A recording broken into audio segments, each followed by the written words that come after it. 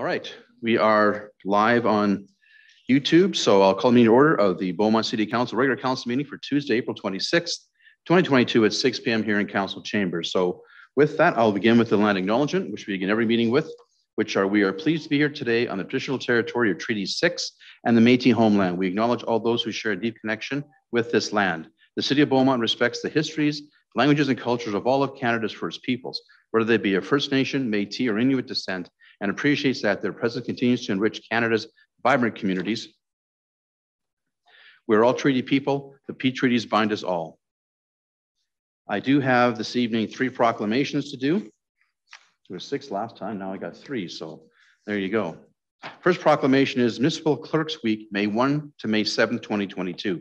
Whereas the Office of the Professional Municipal Clerk, a time honored and vital part of local government that exists throughout the world, and whereas the Office of the Professional Municipal Clerk is the oldest among public servants, and whereas the Office of the Professional, Professional Municipal Clerk provides a professional link between the citizens, local governing bodies, and agencies of government at all levels, and whereas professional municipal clerks have pledged to be ever mindful of their neutrality and impartiality regarding equal service to all, and whereas a professional municipal clerk, clerk, clerk serves as the information center on functions of local government and community, and whereas professional municipal clerks continually strive to improve the administration of the affairs of the Office of Professional Municipal Clerks through participation in education programs, seminars, work workshops, and the annual meetings of the state, provincial, and county international professional organization. And whereas it is most appropriate that we recognize the accomplishment of the Office of Professional Municipal Clerks. Therefore, be it resolved that I, Mayor Bill Danyluk, do hereby proclaim May 1 to 7, 2022 as Municipal Clerks Week in the City of Beaumont, dated 14th of April, 2022. Workers' Compensation Board of Mourning. Workers' Compensation Board Day of Mourning, April 28th, 2022. Whereas April 28th is recognized across Canada as the day to mourn victims of workplace accidents and for the renewal of the pledge to make a safer workplace. And whereas in 2021, 170 Alberta workers died from injuries or disease related to the workplace. And whereas in honoring their memory, employers and workers can make a difference by working to, together to keep each other safe every day. And whereas the City of Beaumont recognizes April 28th as a day to mourn victims of all workplace accidents and bring awareness to the, for the need to establish safe conditions in the workplace for all. Therefore, be it resolved that I, Mayor Bill Danyluk, do hereby proclaim April 28th, 2022 as Workers' Compensation Day of Mourning in the City of Beaumont, Alberta, and encourage all employers and workers to recognize the importance of maintaining safe work environments dated April 19th, 2022. Lastly, North American Occupational Safe and, Safety and Health Week, May 1 to May 7, 2022. Whereas May 1 to 7 has been designated as this year's North American Occupational Self Safety and Health Week. And whereas National American Occupational Health and Safety Week was first launched in June 1997 and marked as an agreement between Canada, United States, and Mexico, and symbolizes joint venture, cooperation, and commitment to common goals shared by all the occupational health and safety partners.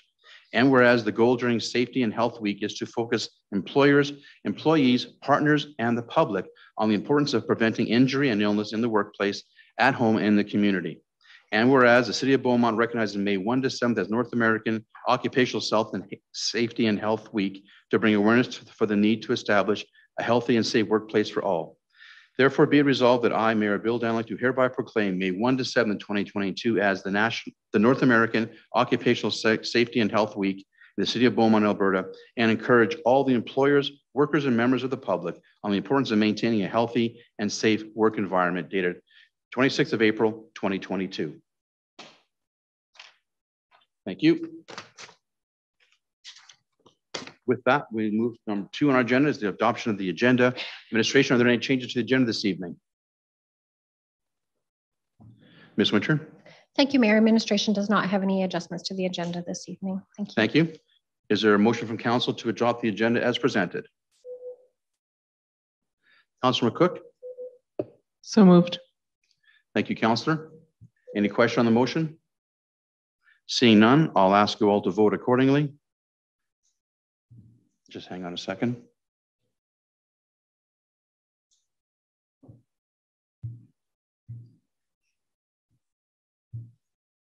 There we go. Please vote, please. That carries unanimously. Thank you, Council. Next on agenda is open forum. Administration, do we have any open forum guests this evening? Ms. Winter, you have the floor. Oh, pardon me. I missed a step. I apologize.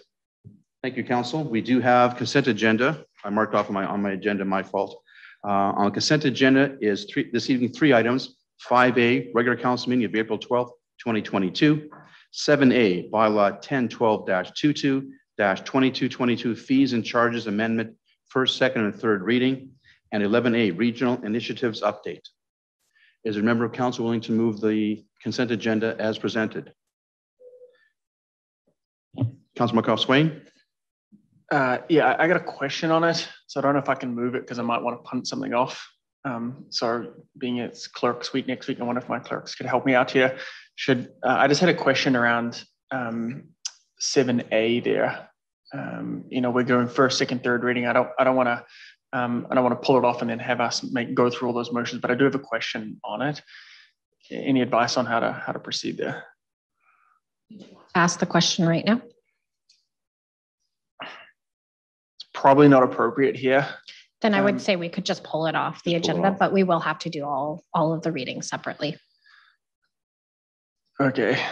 Um, you know, I- I'll leave it. I'll ask it in uh, in my council inquiries, and if need to, um, then I can follow up. So I'll I'll leave it off. I don't want to go through the process of going through that four times. So should be okay. Thanks. You'll leave Sorry. it on? So I will move Okay, that council consent to approve the following agenda items uh, without debate, uh, as you see on the screen.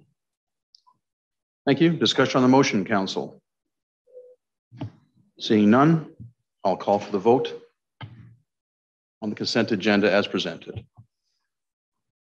That motion carries unanimously. Thank you, council. Now, we are now at item number four on our agenda, open forum. Administration, we have any guests for open forum this evening, please? Ms. Winter? Thank you, Mayor. We do have one um, open forum registration, Mr. Yatskoff. Um, If you would like to make your way to the front desk there for your presentation.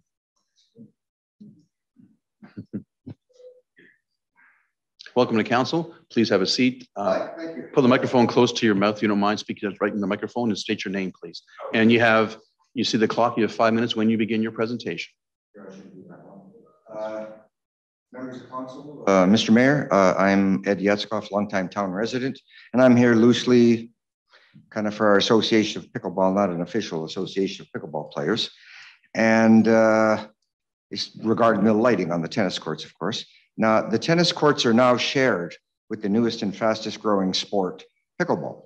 Uh, They were erected in the mid 80s when there was only tennis there. Now there's pickleball and there's a lot more pickleball players.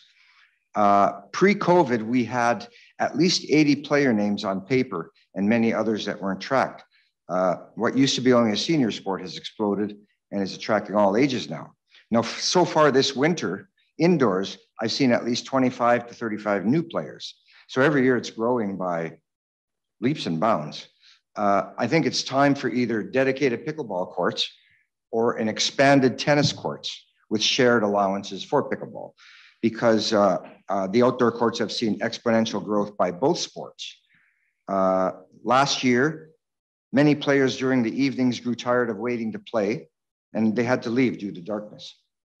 And the weather was good. It was just the darkness that sent them home. Uh, court lights can support both sports and all ages. Uh, now, pickleball has the longest span of, of any sport in town. It goes from April well into October, you know, uh, if the weather's good after Thanksgiving. So that's like seven months long, uh, longer than any other sport. Uh, now, mentioned in the council report of about the lighting.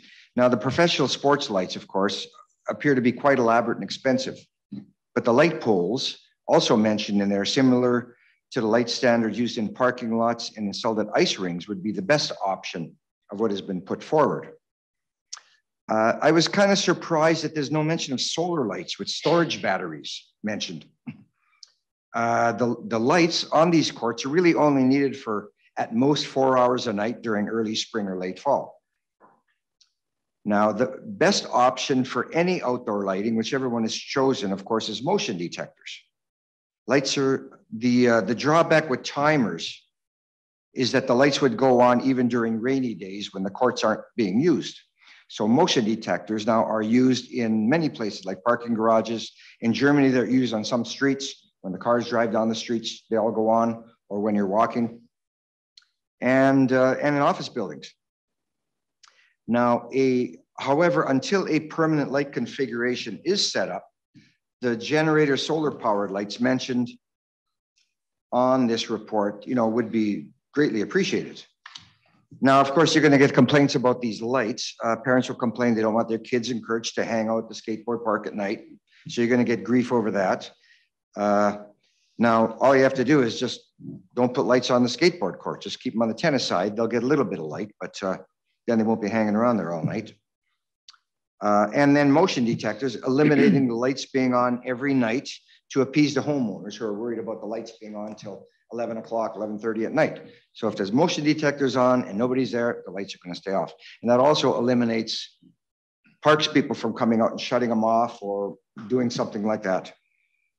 Uh, now, uh, speaking on behalf of pickleball players, our priorities are as follows. First, court lights, along with more pickleball lines drawn on the existing tennis courts. Uh, a lot of times tennis courts only have two players. Pickleball, you get two courts on one tennis court. And pickleball is always played doubles. So you get eight people playing on one tennis court as opposed to two tennis players. Uh, our second priority down the road, I guess, or maybe even now, if there's enough money, is to expand the existing courts by adding two or more dedicated to pickleball and in the same location. And then the wind screens that are up there already and the fencing would be utilized. Uh, and three, of course, dedicated pickleball courts. So I asked council to look into expanding this growing sport as it will serve many ages and uh, not just children who have taken the bulk of a lot of sports facilities in our town in the past, playgrounds and, and hockey rinks and, and things like that. I think it's time to look at an adult sports for a change and more kids are going to be coming into pickleball as shown this winter, showing up and, and we're kind of teaching them the game, the people there. Uh, now, the outdoor hockey rink lights on the one that were mentioned in the report. Now, there's also a mention here about impact on nearby homes. Now, I wonder when those new outdoor hockey rink lights were put on, did they impact the nearby homes all winter from being on? Or do they go off at night or do they stay on all night? I don't know. Okay. And, you are, you are past, uh, sir, you are past time. Pardon? You are past your five minutes. Okay, good enough. Do Anyhow, you have one uh, quick last comment to make? Go ahead. One quick last comment. uh, indoor has drawbacks. The closest of the courts, the temperature in the gym is not controlled. It's very warm and there's poor ventilation. Anyhow, thank you. And I hope we get some lights on there for everybody in this town. Thank you, sir. Any questions from council? Sir, if you care to sit down just for a moment, we have a couple of quick Oh, questions for you. Okay. The interrogation shall begin. It shall begin. It goes both ways, you know. It, it goes both Yeah, ways. yeah. Councilor Tessier, you have the floor, Renee. Thanks for your presentation. Um, I do like pickleball as a firefighter in the fire halls. We have all the painted lines and all those type of things. So question for yourself, would a pickleball court suffice in the outdoor rinks in the off season? The surface is too slippery, The too concrete? smooth, too slippery. So if there was sport turf put in there or that rubber piece, Well, you could only get two courts in there too. You're, well, better off putting, uh, and then you'd also need an equipment box there lot, lots of rinks and just to set up, so there's more expense, whereas if we share the tennis courts, the windscreen's already there, the fence is already there, and all the equipment's there for us, so. Yeah, you know, so some people were set up their own for a while, I think that was two years ago during COVID, and they said it was just too slippery. Okay, Mhm, all right, thanks for the feedback. mhm. Thank you. Councilor Miller. Ashley, you have the floor. Thank you. Thanks for coming with that presentation um, or of your needs for pickleball.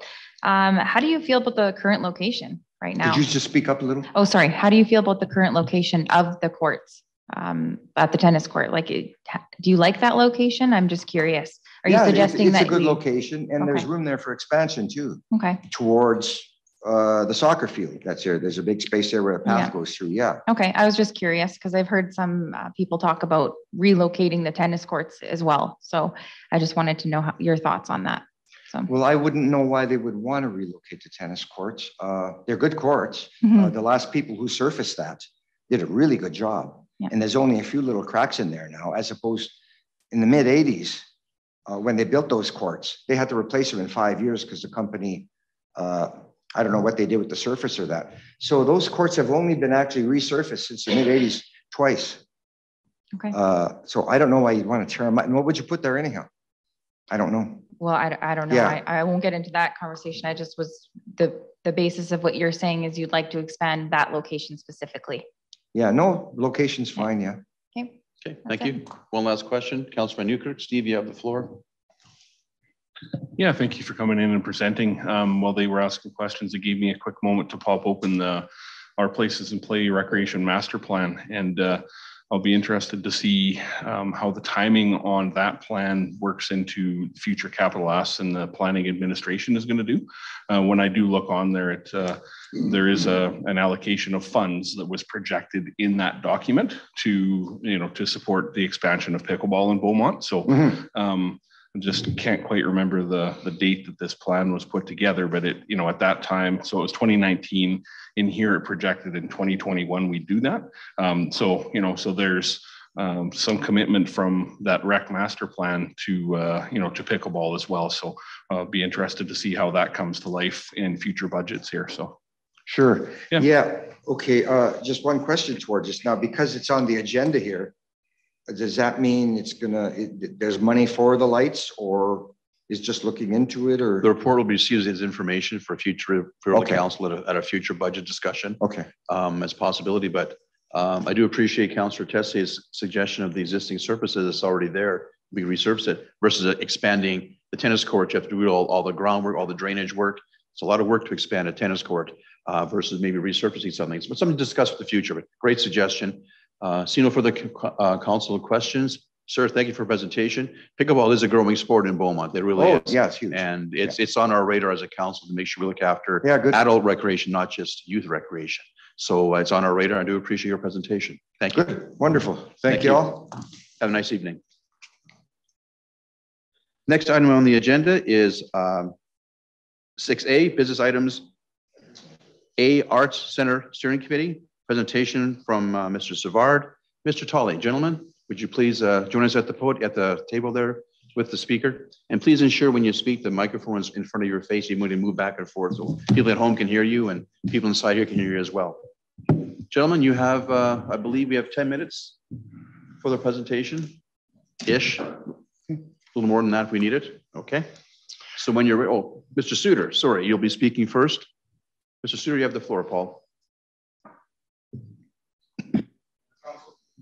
Oh, hang on. I hit your button there. There you go.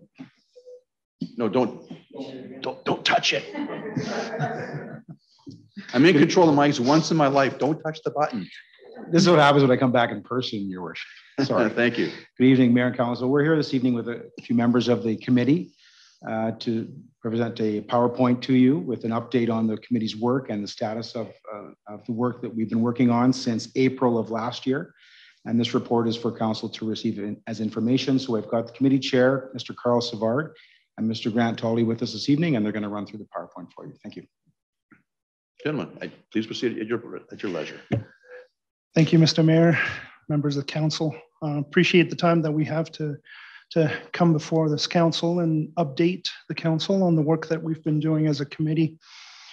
Um, Our committee uh, has been highlighted. We've, we've been meeting for several months now and, and uh, we're a committee uh, based of volunteers with a term of reference that was provided to us by, by council, the, the previous council.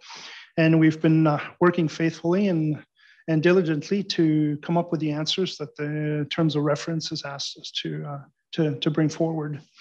And some of these uh, terms of reference answers include uh, recommendations to council related to the best site possible for one of these uh, art centers, uh, the size and amenities, as well as uh, suggestions related to the operating model and the funding sources. Our, uh, our committee consists of seven individuals plus three members of the of city uh, administration. Uh, I have been uh, I've been asked to chair, and uh, I, I find it a privilege to do to do that. The members consist of many professionals, uh, both active professionals and retired professionals that vary uh, in in their skills from engineering to project management to medical and to arts and financing. Uh, for instance, I have a background in construction engineering. Um, Mr. Tolley has a background in uh, project management related to community and arts and culture developments. Uh, Chantel Fortin has a background in arts as well, and Miss Willis has a background as in pharmacology and she has a, a, a real desire uh, and a real love for art. Um, we also have, my apologies, we also have uh, Dr. Gates on our uh, committee, and she's been involved in arts for over 30 years, 35 years. And she's very knowledgeable, and she has been a, a, a great influence on, uh, on the committee and the work. Mr. Hoare is, uh, has a background in financing, uh, which will come in handy once we uh, look at the uh, uh, options related to financing. And Ms. McLean has, uh, has a background in professional theater as well. So we have a very background of individuals and throughout these individuals is meshed a strong love for arts of any kind and that is one of the reasons why this committee is brought together and these individuals have volunteered to, to see something um, such as an art center come to fruition, hopefully, uh, and, and see that dream of, of presenting to the community an art center where they can come together and enjoy the arts in, their, in its variety of forms. I'll pass the time over to, to Mr. Tolley and he'll he'll uh, discuss a little bit of the background, what we've uh, been doing a little bit, and the next step moving forward.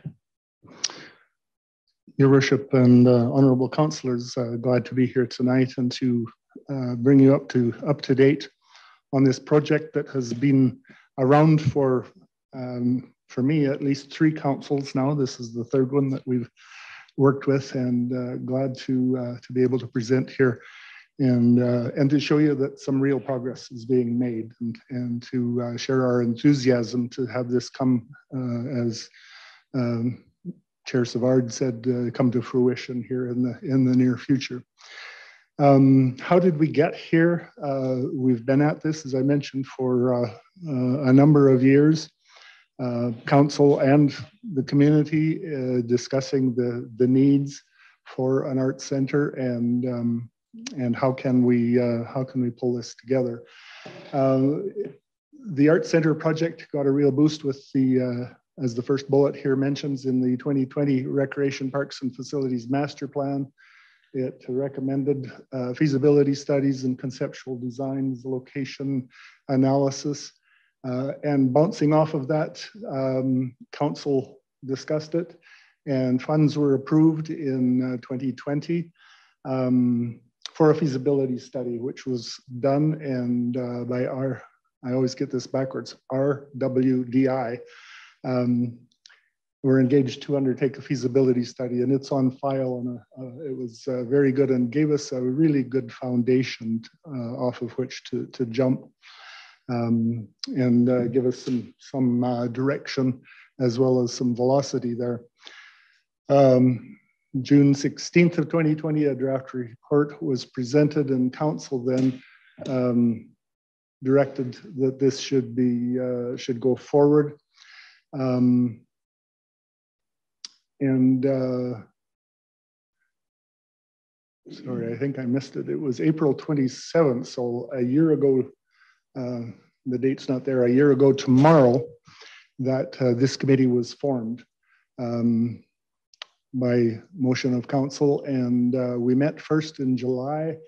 Uh, we spent a fair bit of time looking at the terms of reference. We had a good outline of what council expected, and then we added to it um, to create terms of reference, which were subsequently uh, approved so that we had some focus to what we were doing because this is a very complex um, project, a lot of things to look at, multidimensional and um, uh, and a lot of background research that needed to happen. So that came together.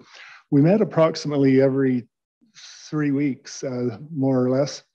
Um, and our first, uh, our first focus was to look at um, a site and do research on where could this arts center go.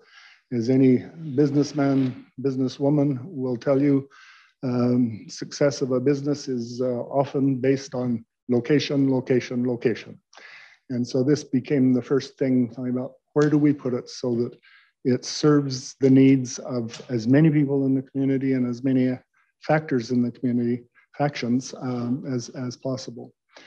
Um, so we uh, actually, we, with the cooperation of the uh, Seniors Association, uh, we piled the whole committee on, um, on their bus a couple of Saturdays and we had selected 10, was it 10 or 11 sites, possible sites, and we actually went and walked the land.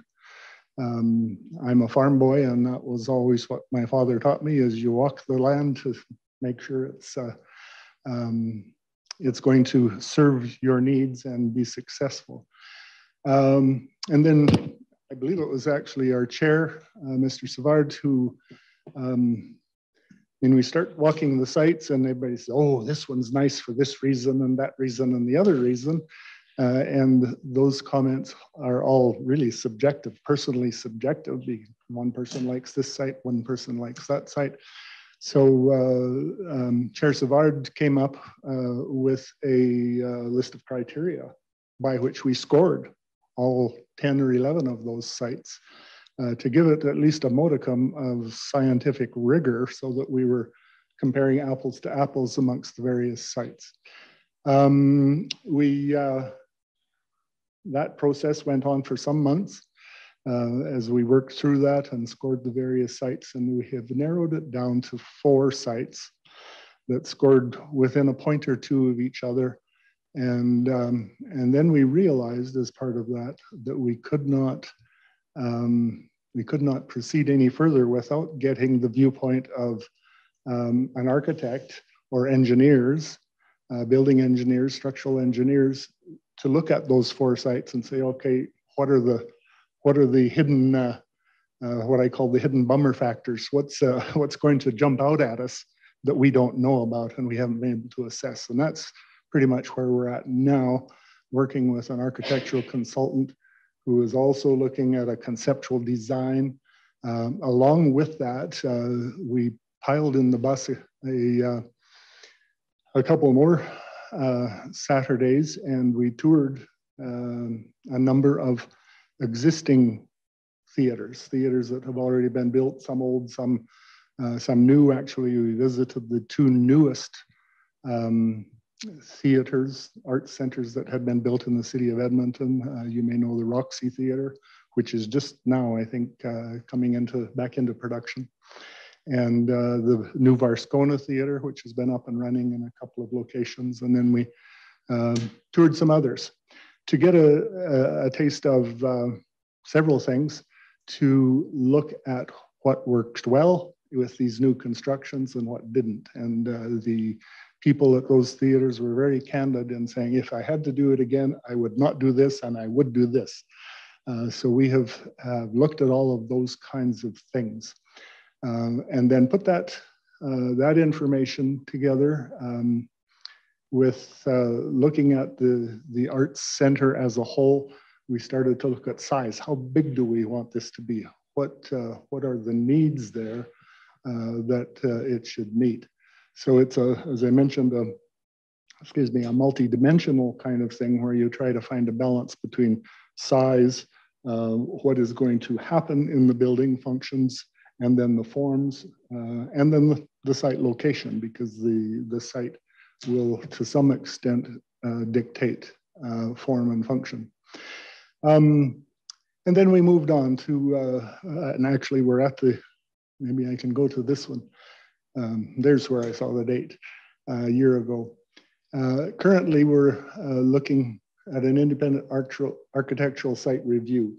Um, our architectural consultant is coming back to us with those assessments from their point of view, the architects and the engineers saying, well, this site's going to work better because of that site may not be as good. So the weighting that the committee gave it may vary.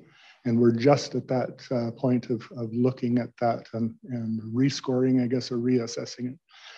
Um, we're also looking down the road at some uh, operating models for this is going to be a major facility and I, I dare say a, a flagship facility for the city of Beaumont. Um, how do we want it to run? Uh, and what recommendations can we come up with there? And we have gathered a lot of information from those other theaters that we have uh, visited and uh, done some online research to, to look at uh, operating models. Funding sources, we're looking at, I mean, the big question is how, how are we going to pay for this? So we want to come back to council with some solid recommendations of here is where uh, we are certainly prepared to uh, assist in funding this. We, uh, we're sure that there is funding beyond municipal funding that can be brought to bear on this project. Um, and then, of course, determining the, uh, the pre preferable site location. That will be a, a uh, comeback in the recommendation. So on the first bullet across there, Q3 of, the, of this year, uh, over the, the next uh, two or three months, we'll be finalizing work and assuring alignment uh, with other City of Beaumont plans and priorities. We, uh, we recognize that we're not in a silo, that uh, everything else is going to take a back seat so that uh, this arts center can be, can be built and built now. We recognize that you as council uh, and administration have quite a, a chore to make this all fit together so that everyone, if possible, can uh, um, can have uh, have uh, can be happy with the, the recommendation that comes forward, and and uh, we don't have any uh, big winners and big losers. We would like to see a, a win-win-win type of situation. Uh, so we're looking then at the first quarter of this year. So beginning in September, I know it's when you people go into uh, uh, into your budget deliberations and start to prepare budgets, uh, capital budgets for the uh, uh, near and midterm. And uh, we are quite confident we'll have have some solid recommendations for you to consider in those deliberations this fall. Um, next steps, I think I've covered most of this. We're looking at at site options and rankings, the venue size and amenities. And by amenities, we mean things like parking, traffic patterns, all of those kinds of things, operating models, and then the funding opportunities that I've, uh, I've spoken a little bit about. So that's pretty much our, uh, our presentation to bring you up to date on uh, where we, uh, where we are, uh, are at and where we're headed. And we look forward to coming back to see you again, probably in the uh, late summer or early fall, to uh, to bring you our recommendations for your consideration in your in your fall uh, sittings. Thank you. If I, if I could just add two quick points. Yes, go ahead. The the committee is very much aware that the decision that that that we make or the recommendations that we make are for long term it's beyond our lifetime, most likely. It's a 75 year plus or 50 year plus project if it comes to fruition. So we are very careful to make sure that we that we get it right the first time. And the second uh, the, the second point is that is that the committee, as we are reviewing these items, we are also keeping an open mind that, that as we study this, as we come together with, with all of this information coming in, that our recommendations may look a little different than we originally had anticipated. But we are keeping our an open mind and receiving all the information and and just assessing it as it comes. Great. Thank you, gentlemen. Uh, I'll open up to questions from council and see Councilmember Swain. Uh, Sam, you have the floor, please. Yeah, thank you, Mr. Mayor, and, and thanks for coming in. Um, first off, you know, congratulations on, a, on an incredibly strong committee. Um, you know, when when when the motion was made, you know, the concern sometimes is, you know, in politics, you know, good ideas go to die in a committee, and I was worried about that. Um, and, and, I really just um, just want to say thank you for all the hard work that you guys have got, uh, that you guys have all done to get here. Um, incredible amount of work, and and obviously you talked about the backgrounds of everyone who's on there, and and uh, just passion is one thing, but the experience um, comes through, and and and that's why I'm really really excited uh, that this committee is is moving forward at such speed, and um, you know from all accounts that, that people are really enjoying the, the process. So um, congratulations on, on chairing such a, a strong committee. Um, I, am going to be pretty direct here and and uh, recognizing where you are in, in your timelines, um, but I, I just want to provide uh, a, a realistic perspective from from my from my seat on this side. When you, so you, you had up there, we we went through this discussion and you talked about there's a third time going around a council, coming back, and all that sort of thing. And we had the when that presentation came to the previous council and had a whole bunch of options and and it had you know large dollar capital items attached to it. Um, I think it was fair to say that um, you know that that scared council um, those large numbers, um, and ultimately that that came in in June, and, and then really nothing happened with it. Um, you know, we accepted it for information, and, and then ultimately, um, you know, as I was thinking through that, going back, it's like, okay, well, we accept it as information, and nothing's really happening. So we, we actually need something more, and that's where the committee idea came from, was to actually have have some local folks with experience go through and and, and provide us um, a real detailed, analyzed approach of how we can do this um, I think everyone on council, the previous council anyway, was certainly very interested in and, and knows the need for a space like this. Um, but the concern um, was we saw a price tag, uh, and, and I think that that scared a few folks off. So um, my, my, comments here and, and some questions are going to be around, you know, making sure that we don't go too far down the line um, before and, and before we kind of getting testing the temperature with council. And there may be questions you aren't able to answer today, uh, and, and that's fair. Um, so I'm, I'm going to talk about the, the two key things. Obviously, you talked about location and you talked about the cost. So on, the location piece, you talked about narrowing it down to four sites. You're having architects come in and take a look at it. Um, I, I, wanted to acknowledge that you, you, spoke about the other priorities that are going on, and, and you know I think you're aware that we are doing a kind of an asset inventory across the city looking at all of our assets and where all of our buildings are. And it's not just, um, we're not just focused in on, uh, on an art center. So appreciate that. I mean, there's this place, there's the library, there's all, all sorts of things that, that are looking for this. So I'm glad that that's being considered. Um, my, my concern or my worry is that, um, you know, if we're waiting until really Q3, Q4 before this comes back in front of us, um, yeah, my worry is that you guys do all this hard work without really checking in with council in terms of location I'll speak to now. Um, and for whatever reason, doesn't, um, you know, you haven't got the feedback from council. Um, my worry is that you guys might be too far down um, and, and some of the, the good work. So I'm just curious around, um, you know, why there wasn't uh, why there hasn't been a discussion with council on these are the kind of the areas that we're looking at. This is how we've scored them um, and, and, just to, to kind of test the temperature on location initially um, before getting too far. So I'll, I'll ask that question first and then I'll dive into costs. So did you guys give consideration to check in with council um, before moving too much further down these four sites? We can certainly do that if that's uh, if that's your your wish. Um, if I may just speak to the location issue, um, of the four locations that I mentioned, three of them are currently owned by the city. Mm-hmm. Uh, and we've looked at them uh, from all perspectives, and any of those three uh, would work perfectly well. It's just a matter of this is better in one site or that is better in the other site. The fourth location is privately owned, which immediately has the implication that if that were the recommended or chosen site, then we're upping the budget um, by probably several million yep. dollars uh, to acquire that land. So that's a, a major consideration. Um, I would think that we could certainly come back to council sooner, uh, maybe in the next uh, month or two. Uh, we'd have to to see if we're prepared, to, if the committee is prepared to do that, to make a recommendation on on location.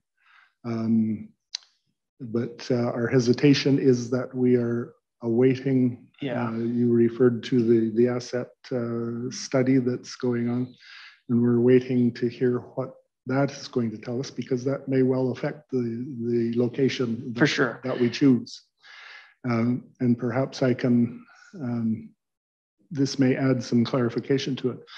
When the committee started a year ago, we all went into the uh, our discussions thinking, oh, standalone art center you know, this nice, big, beautiful building that's going to be this flagship and standalone. But just within the last few months, um, after we had toured the, uh, the various facilities around the region, uh, we woke up and said, well, there's a number of theaters slash art centers out there that are not standalone, that are in a multi-use, uh, we often use the term multiplex sure. building, and we haven't looked at that. And so we are now uh, looking at that to see if that's something that could work here in Beaumont. And we're not far enough down that road to make any recommendations, but I think the general consensus is that it's certainly an option on the table that uh, uh, that could fit well with the asset uh, allocation study uh, once we get that information from the consultants. Yeah, I appreciate that, and and I chose my wording. I hope I tried to choose my wording carefully around the, the temperature check. I, am you know, we you, you guys are established for a reason to go and, and do the work and come back to council. Uh, and, and certainly nothing worse than, than having council in the middle of it as you go through and, and jumping ahead of steps. But um, yeah, there, there, are there are multiple things that are moving right now across the city. Mm-hmm. you know, our, our, job is you know to look at the bigger picture, right? And and so I, I think there would be value in, in a temperature check, and I'll, I'll, leave it up to my other councillors to to kind of weigh in on that, just around the location, just to again, not, not for us up here to make any votes or anything like that, but just to hear the feedback. What, what are we thinking? When, when, you know, we've obviously got our own kind of thought process in, in our mind. You know, we have an arts district for a reason, all that sort of stuff. Um, and, and so just, just trying to get an understanding around that before that goes too far. So that I'll, I'll leave that there. Um, uh, from, from from my side and, and see if um, if other councils were looking uh, are interested in, in kind of getting a bit more um, before we get too far down and here's the mm-hmm. recommendation mm-hmm. and or where, where did that come from right? So yeah. Um, the second question if you don't mind. Please proceed. So the next one uh, just around the cost piece and and let me just state you know that there's a reason why i made the motion in the first place and it's because i want to get this done. Um, and uh, i think it's uh, much much needed for our community. Um, you know we, have heard multiple um, reports back from all different sectors across our, our across our city here around the value of this.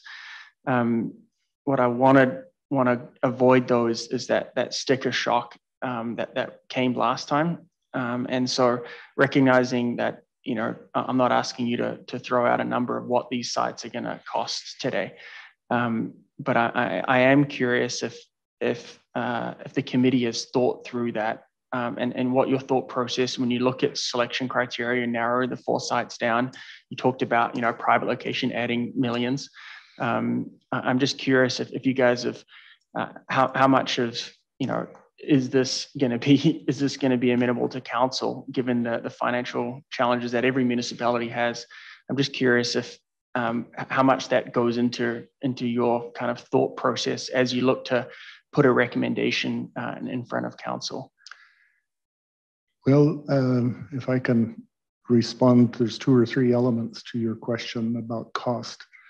Um, and I have always hesitated when people say, how much is this going to cost? Uh, I have never wanted to throw out a definite number because then it becomes carved in stone and we come back and it's you know, $5 million. That's why I didn't ask But you. you said. Yeah, no, so I didn't ask you a number. I want, uh, I want to know, what is your thought process? How, have you considered what this might look like in front of council, given the, the constraints and, and the debt and all that sort of stuff? We have definitely, uh, and, uh, uh, and actually in our deliberations for every aspect of this center, uh, cost and trying to restrain the costs, not just of the building itself, but of the, the furnishings and the amenities inside and outside the uh, building.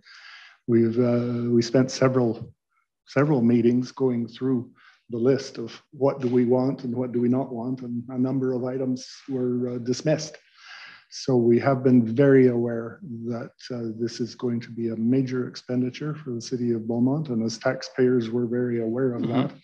Um, But the other side of that coin is that this is a very complex building serving a number of complex functions, and it's going to cost. The, the sticker shock will be um, will be high, I'm sure. Um, the last item I'd like to say, I'll turn it to Carl, is uh, um, the uh, we are not really good.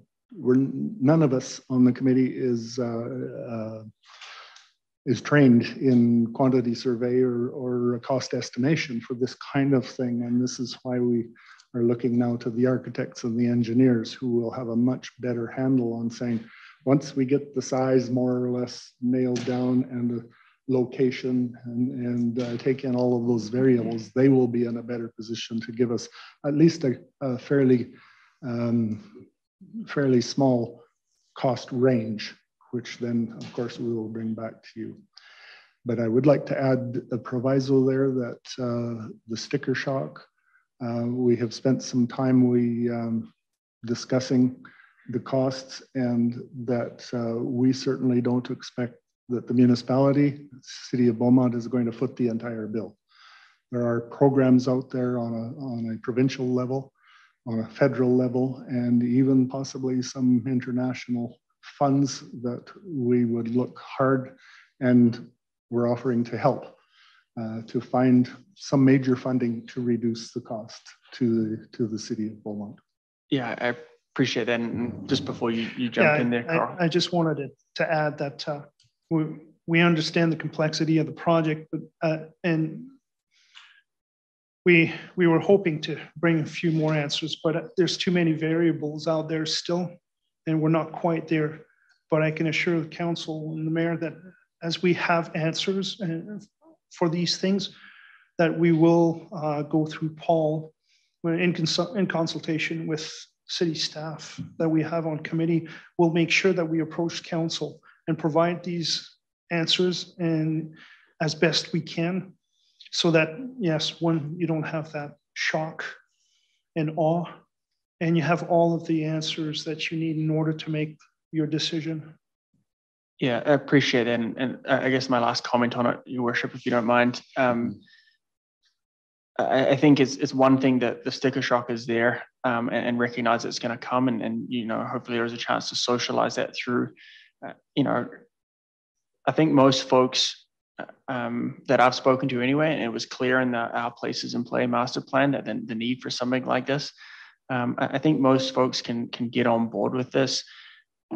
What I always hear though is, you know, make sure you do it right. Don't don't Mhm. cut the corners. Um, and we've seen some locations that have done that, and, and the challenges that have come with us. So if you're going to spend the money, do it right. Um, a- and, so I, I'll just leave that with you. Um, I'm not, you know, issuing an open checkbook here, but I, I just want to make sure that that um, that is where my head is at. If we're going to do this, let, let's do it properly. Um, we, anticipate that there will be some public consultation in the future yeah. in regards to this project if it goes ahead so we're quite mindful about all of the all of the different things that can that come around this public consultation as well so we're we'll try to get this council all of the answers that we can that we can get so that when it comes time to bring the project to the public that you have everything in front of you that you need appreciate that. And, and you talked about um, looking at, excuse the pun, looking at grants and all that sort of stuff. Um, you know, I don't think there's a better person in Canada probably to, to help um, uh, with that than Mr. Tolley here. So you guys are in great shape and, and thank you. I'll, uh, I'll yield. Thanks. Thank you. Thank you, Counselor. Appreciate that. Um, I know this is more of a progress update report. Um, questions are good questions, but we, we have to sort of avoid getting into a bit of a debate, and expressing our opinions and so on. I know it's hard not to. I mean, it's really hard not to, but we need to try and keep it as a progress update. So councilors, can try and keep your questions pointed as best you can? And we'll proceed with Councilor Barnhart, followed by Councilor Tessier. Kathy, you have Thank- the floor. Thank you very much, Mayor. Well, I want as much time as he had. so. Well, yeah, we'll just we'll move along. I don't have as many good questions. He asked, he asked a lot of the questions and thank you very much. I, I, I often don't hear how good a committee is doing, but I've heard nothing but positives from the people that I know in the community and the arts and in the arts community in particular, saying that they feel really well served by what your committee is doing. So, you know, we don't usually hear the good stuff. Sometimes we hear only the bad stuff, but I just want to say to echo what Councillor Munckhof-Swain said as well, that hearing really good things about the process the thoughtfulness, the touring, all of that stuff, really, really good. Um, I have the same queries or concerns, worries as Councilor Munckhof mm-hmm. Swain around location and, and, and socializing it to council and letting, letting us learn what you've learned. Because I, I have a fear that I'm going to see this at budget time with a binder this big of all kinds of things. And, and what I need to spend time on, I won't have time to spend time understanding. So if you can please avoid that happening, I really would appreciate it because we need to get our heads around this because we are going to be the ones that have to defend the decision one way or the other. So um, I, I, I do want to say we need time to understand what you know. You've taken a year already, and I, I, I don't begrudge you that time. I'm sure you needed it. We won't have a year. and and I when I heard there were four locations, all I want to know is where are they? Where are they? Like tell us where they are. Um, and I under, appreciate you don't want to politicize it too quickly and get people lined up on one or the other. So while I get it, I, I really do think leaving it to the end of the third quarter might be too late. And I just don't know it. Either that, or maybe you're not expecting so much from us at budget time. Maybe, and this is my question. I am getting to a question, man.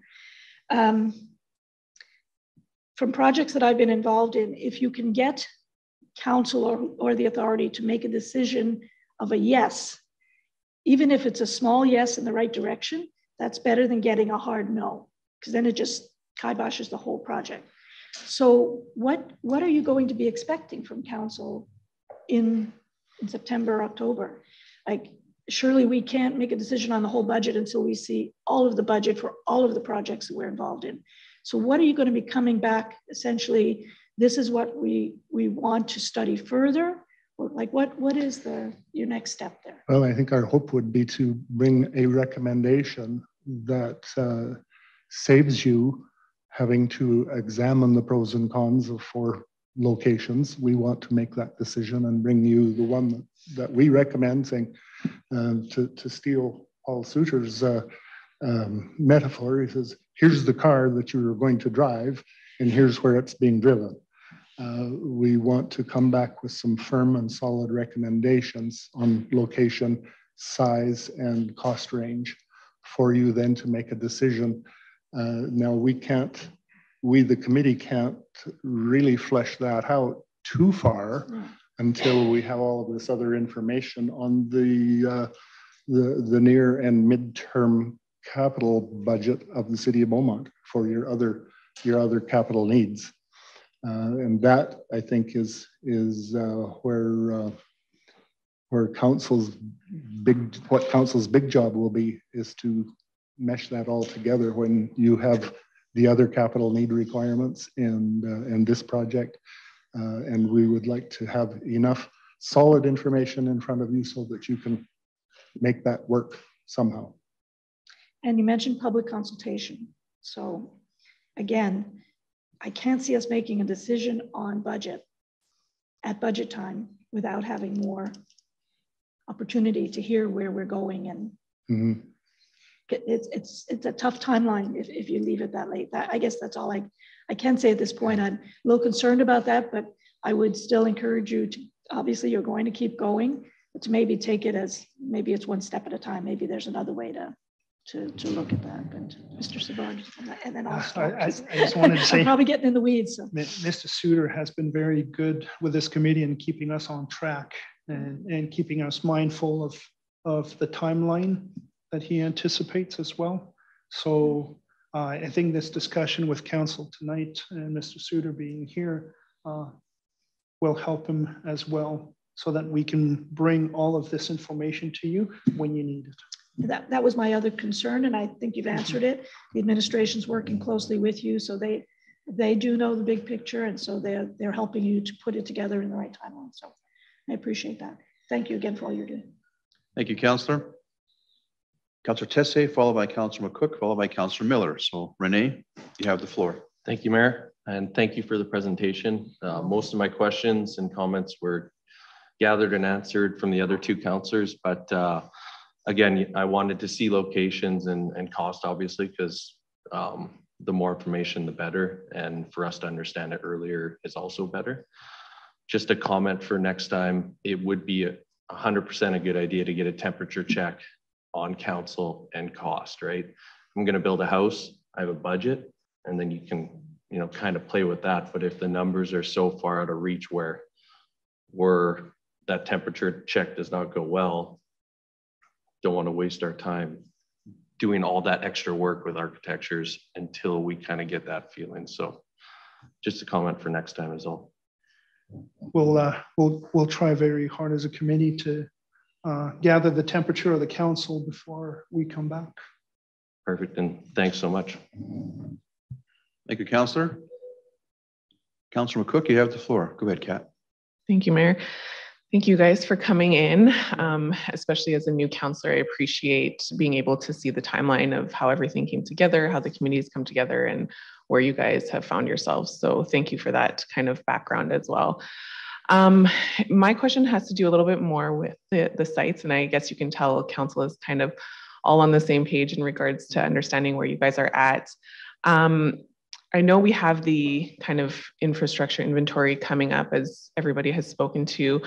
Have you also explored options? Um, you know, there's the talk of that we have to build a new high school and stuff like that. Have you considered the option of what connecting an arts facility to a new high school would be?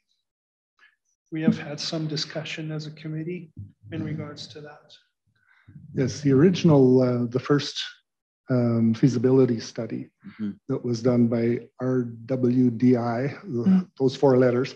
Um, examine that very closely okay. because that uh, that has been done a lot in a lot of mm-hmm. places attaching a, a theater to yes. a school and the recommendation in that feasibility study and it was a very strong one said don't do it there have been a lot of horror stories quite literally uh, where um, municipalities have done that and tried to make it work and it it's just not a good combination on the other side of that coin, he did recommend uh, saying that theaters, uh, arts centers work very well married to a, a library. Mm-hmm. And, and, other types of facilities like that. Mm-hmm. And we have looked at that and we've talked to the library, uh, the folks at the library here, and we know they're looking for more space, new mm-hmm. space. Mm-hmm. And we would be, uh, I'm sure we would be more than happy to collaborate with them to see if that couldn't okay. be a, a, marriage that could be arranged.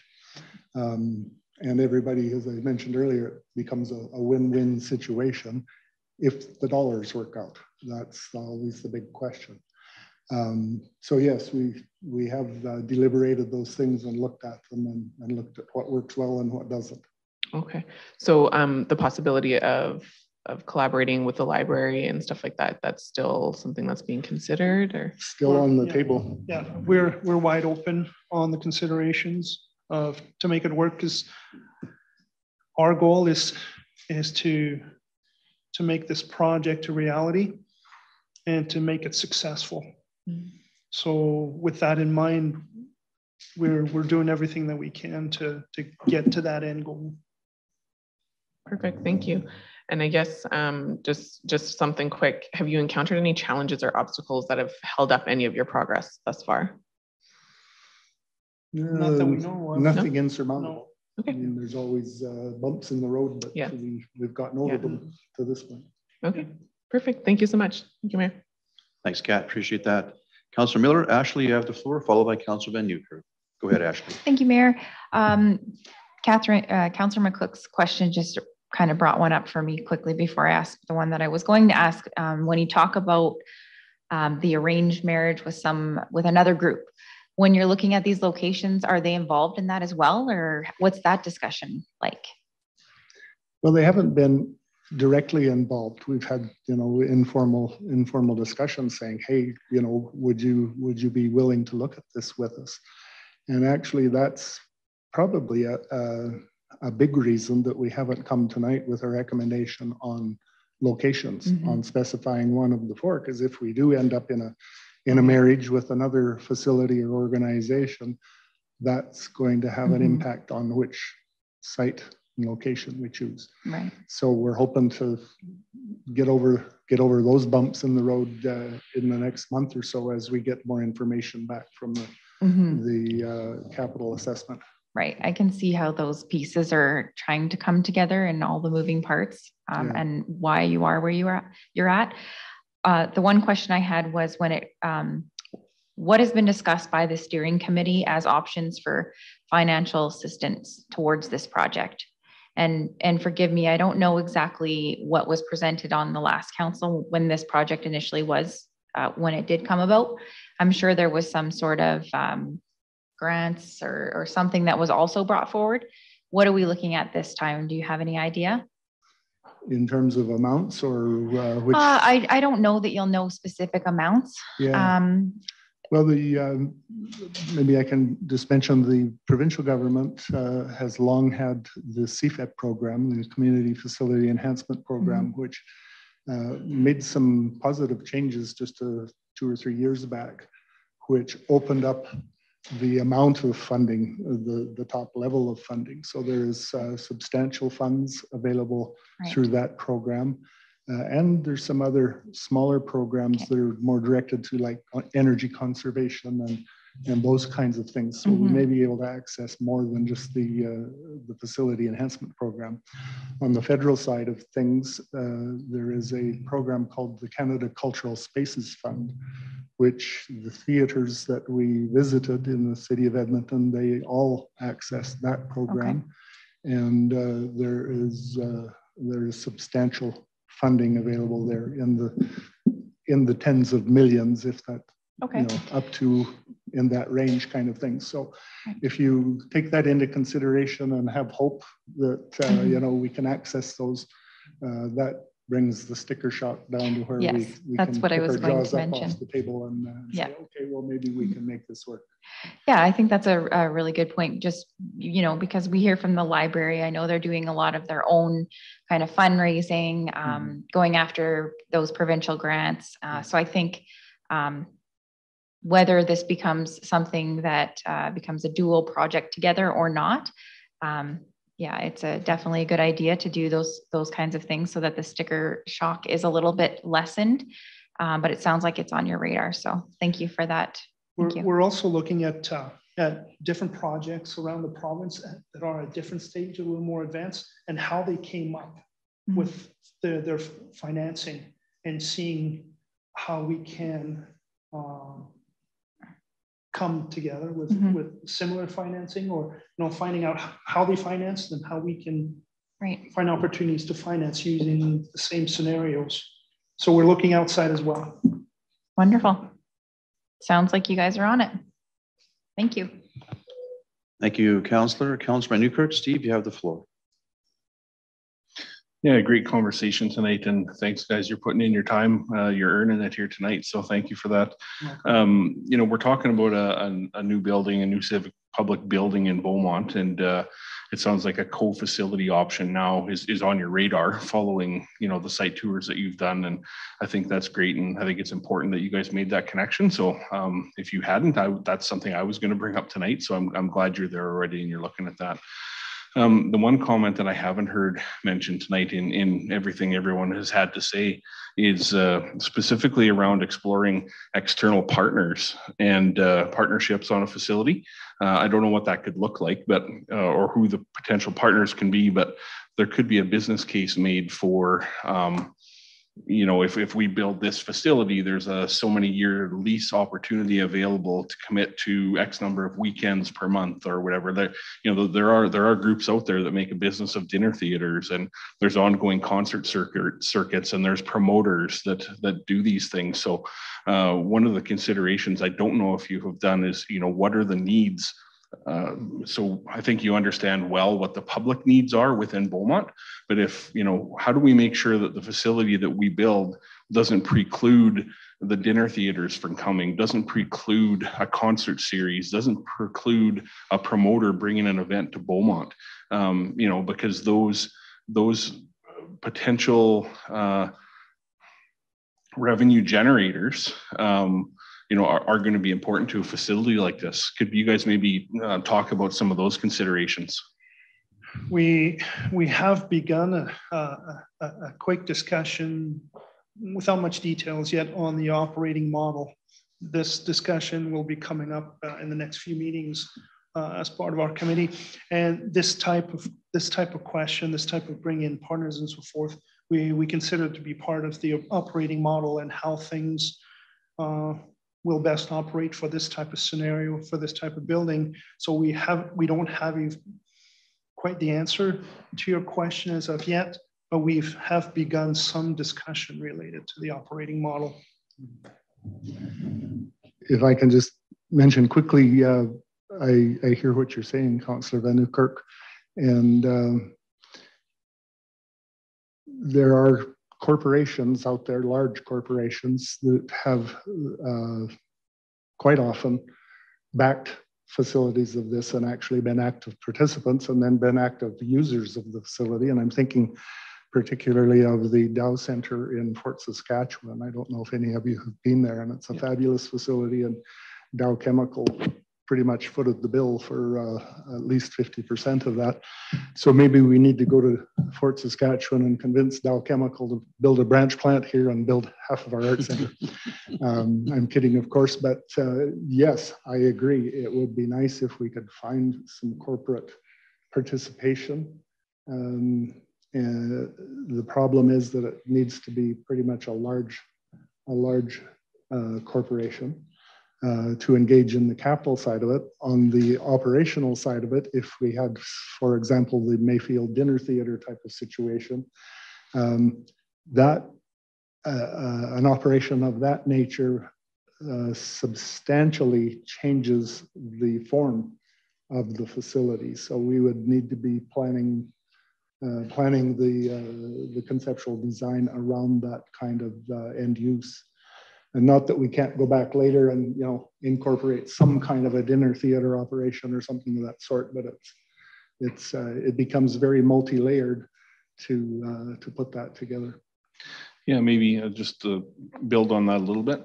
Um, so uh, maybe just through administration as well and, and through Mr. Suter and your work on the committee, there has been sponsorship work done uh, with a consultant and stuff. So maybe you guys, I don't know how current that would be given the COVID world we're in, but I would encourage you to, you know, dredge that up and, and think about that. But uh, just to just to back up a little bit too on the, um, you know, the model and the design, I, I do I do think that there are potential design considerations that you that you should think about as you as you narrow things down so that we're not precluding um, one group or another from from targeting Beaumont on its loop, right?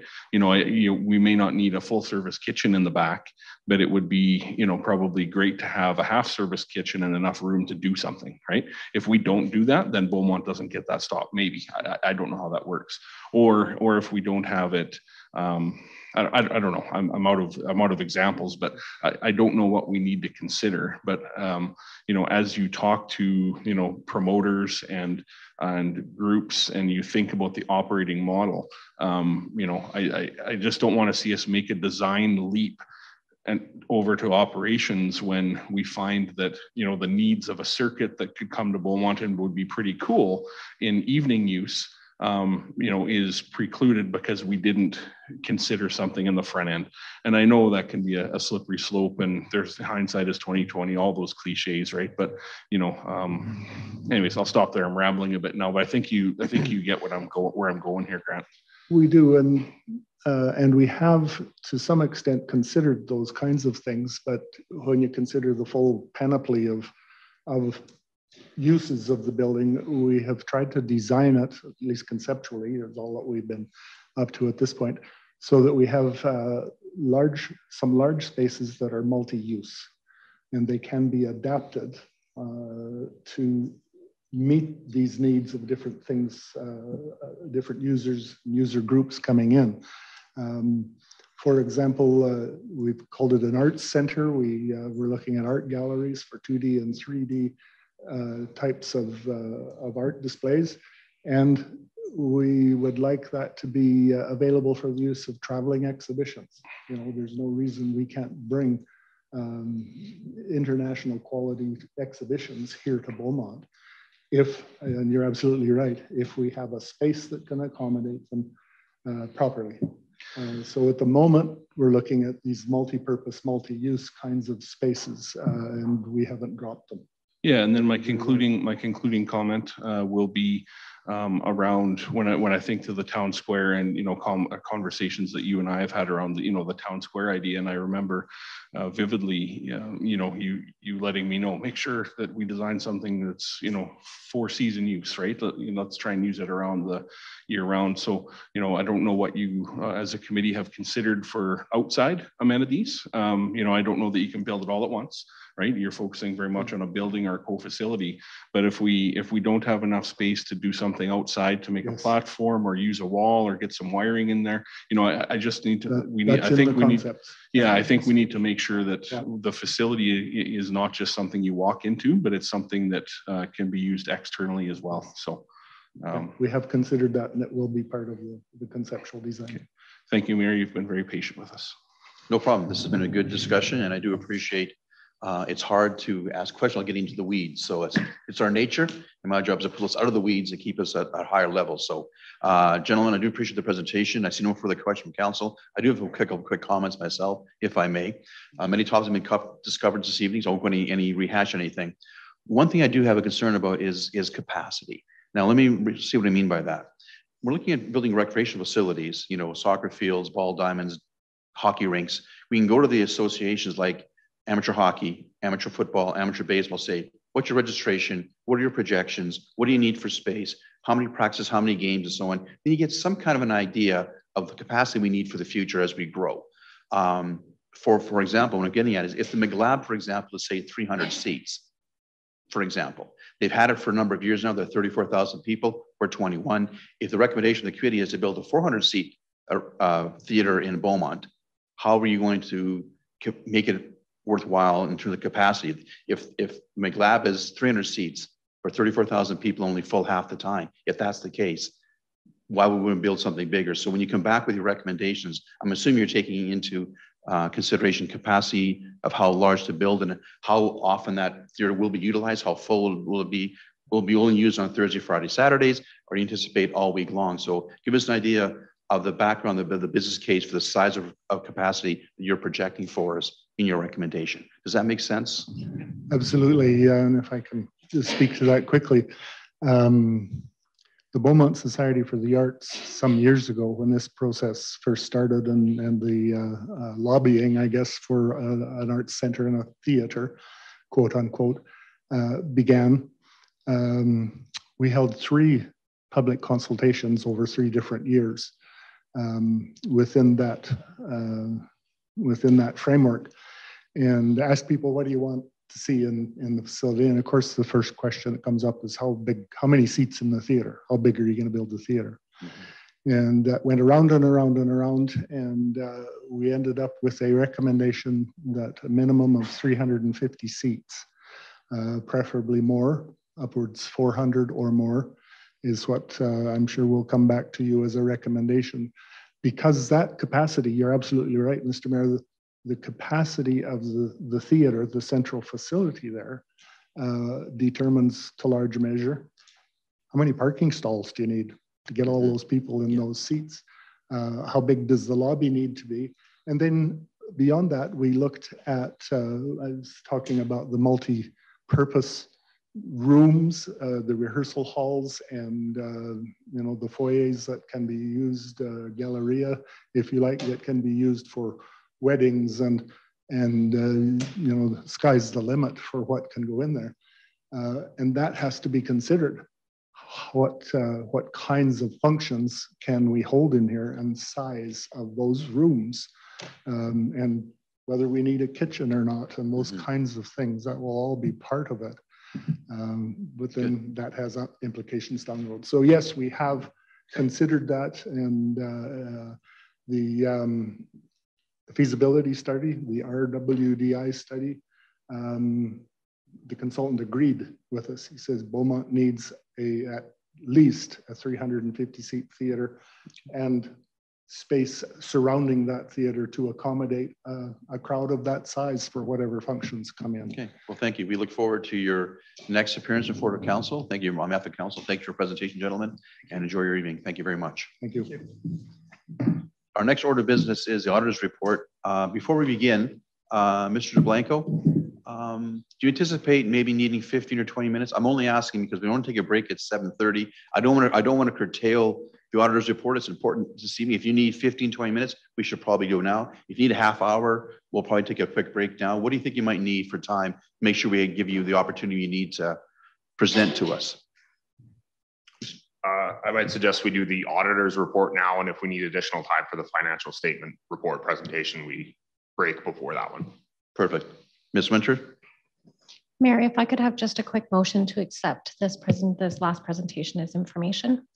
Right. Thank you. A little detail I should have thought about. Is there a motion from a member of council to report, to receive the report as information? Councillor Barnhart, you have the floor, Kathy. I move that the April 26, 2022 Arts Centre Steering Committee report be received for information. Thank you, Councillor. Discussion on the motion? Council seeing none, I'll ask for the vote. And that carries unanimously. Thank you, Council. Thank you, Ms. Winter, for reminding me of what I should have thought about a moment ago. So having said that, I think we can proceed with the auditor's report. We're prepared to do that, are we? Thank you. Ms. McConnon, welcome back to Council. It's been a year. It has. It has been a year. We're all not in little boxes anymore. Exactly. Either. So yes, we're back in, in person. We're glad you're back in front of us again too. So please begin your presentation. Thank, Thank you. Thank you, Worship Councillors. It is a pleasure to be here in person and see you not in little boxes anymore. Um, again, it's our annual odyssey through the audit. So I will try and keep this brief and to the point because I know I'm probably the only one super excited about the audit report. So the first part of the audit report really just um, we are at the point where we're kind of closing down and wrapping up our audit. We're essentially complete what we need to do pending council approval of the financial statements. Um, so we do have a few things that we always report to you, and those are required under auditing standards. And so I'll, I'll try and walk through those in our report at a very high level. So the first thing that I will note is there are a couple of things that we look at that are called significant risks in our audit. And those are areas where we think there's a higher um, risk of error or fraud occurring. And the first two that we look at that happen in every single audit um, are fraud risk related to revenue recognition and fraud risk related to management override. So we don't necessarily think there is fraud happening. It just is, those are the two areas that historically across um, all kind of financial reporting are the areas that are highest risk and have had the most frauds happen. So we do do additional work around those areas in particular. Um, in your revenue stream, we focus a lot on your sales and user charges because those are a little bit more complex and a little bit more unusual. Um, and other revenues as well. We have found no issues in our audit testing throughout those areas. Um, when we look at management override, we look at journal entries because that's an area where management could change the financial statements. We have nothing to report. We also take a look at the estimates and make sure we're comfortable with those. So the next part of our audit that we do spend some time on is around the estimates. Um, and that's just areas where there's some judgment and management um, might make some adjustments or judgments judgment calls about those numbers. And so we've listed off in our report just some of those numbers, but at a high level, we've reviewed all of the, the accruals and estimates that have been made in the financial statements, and we're comfortable with what is in the financial statements. We have nothing to report there. We did not note any fraud or illegal acts throughout the course of our audit that we need to bring to your attention. Um, and the, your team did a fantastic and very clean job because I have a full page that essentially says we have nothing to report. So we have no adjustments. We have no what we call unadjusted items, which are um, variances that we might pick up and choose not to fix in the financial statements because they're not material. We have no disclosure items that we need to bring to your attention in the financial statements. From an internal control perspective, we look at your internal controls only from the perspective of looking at how it impacts the financial statements and the financial reporting. And so we would bring to your attention if we found anything that we thought was significant and would cause an issue in your financial reporting. I'm happy to report that we don't have any of those level of concerns. Um, we do have a couple of advisory comments that we'll carry forward to management, but nothing that we needed to bring to your attention. Um, in a report, we're just highlighting again um, cybersecurity and a couple of vulnerabilities that have come forth in the last few months. We bring that to your attention only because it continues to be an area we see a significant amount of activity. Um, it continues to be an area of significant concern for many of many of the organizations we work with. And so, just to bring that out um, and put it on your radar, we do ask some questions around cybersecurity, but it is an area that continues to evolve faster, I think, than anybody anticipated. From an independence perspective, we always confirm that we are independent. It's required by our auditing standards. We have nothing to bring to your attention that would impair our independence or that would cause us to need safeguards around our independence. From a technical perspective, there isn't a lot to highlight in terms of changes in accounting standards coming forward. There, there are a number of them, but they shouldn't have a significant impact on the city's financial statements going forward. We do have some changes coming to our auditing standards, which will impact the audit. Um, we will need to do a bit more work around risk assessment and risks. There's some new standards coming out there. And there is a new standard on quality control that is coming out as well um, that will require auditors to do a little bit more work around their internal control processes um, for, product quality. Beyond that, I know our report includes a lot of information just around our approach, which is risk-based, which has not changed year over year. And then the rest includes our independent auditor's report, a draft of that, as well as a draft representation letter that we ask management to sign. We are issuing a clean audit opinion. We anticipate doing that as soon as council approves the financial statements. Um, and we also then will issue our audit opinion, opinion on the financial information return, the FIR that needs to go in as well. So I'm happy to answer any questions there are there might be about the audit. Um, any hard ones about the financial statements, save them for Curtis. Thank you very much for your presentation and the, it sounds like a very good audit by the sounds of it. Uh, yes, that's very exciting and great work by Curtis in our financial department. This is your third audit now with us, Curtis, or second? Fourth, I believe. Yeah. Fourth already. Wow. Okay. You're on cruise control. That's awesome. Councilman Cook, you have the you have the floor, Kat. Thank you. I just have a quick question regarding fraud. So does the audit include any potential risks um, regarding fraud, both internal and external?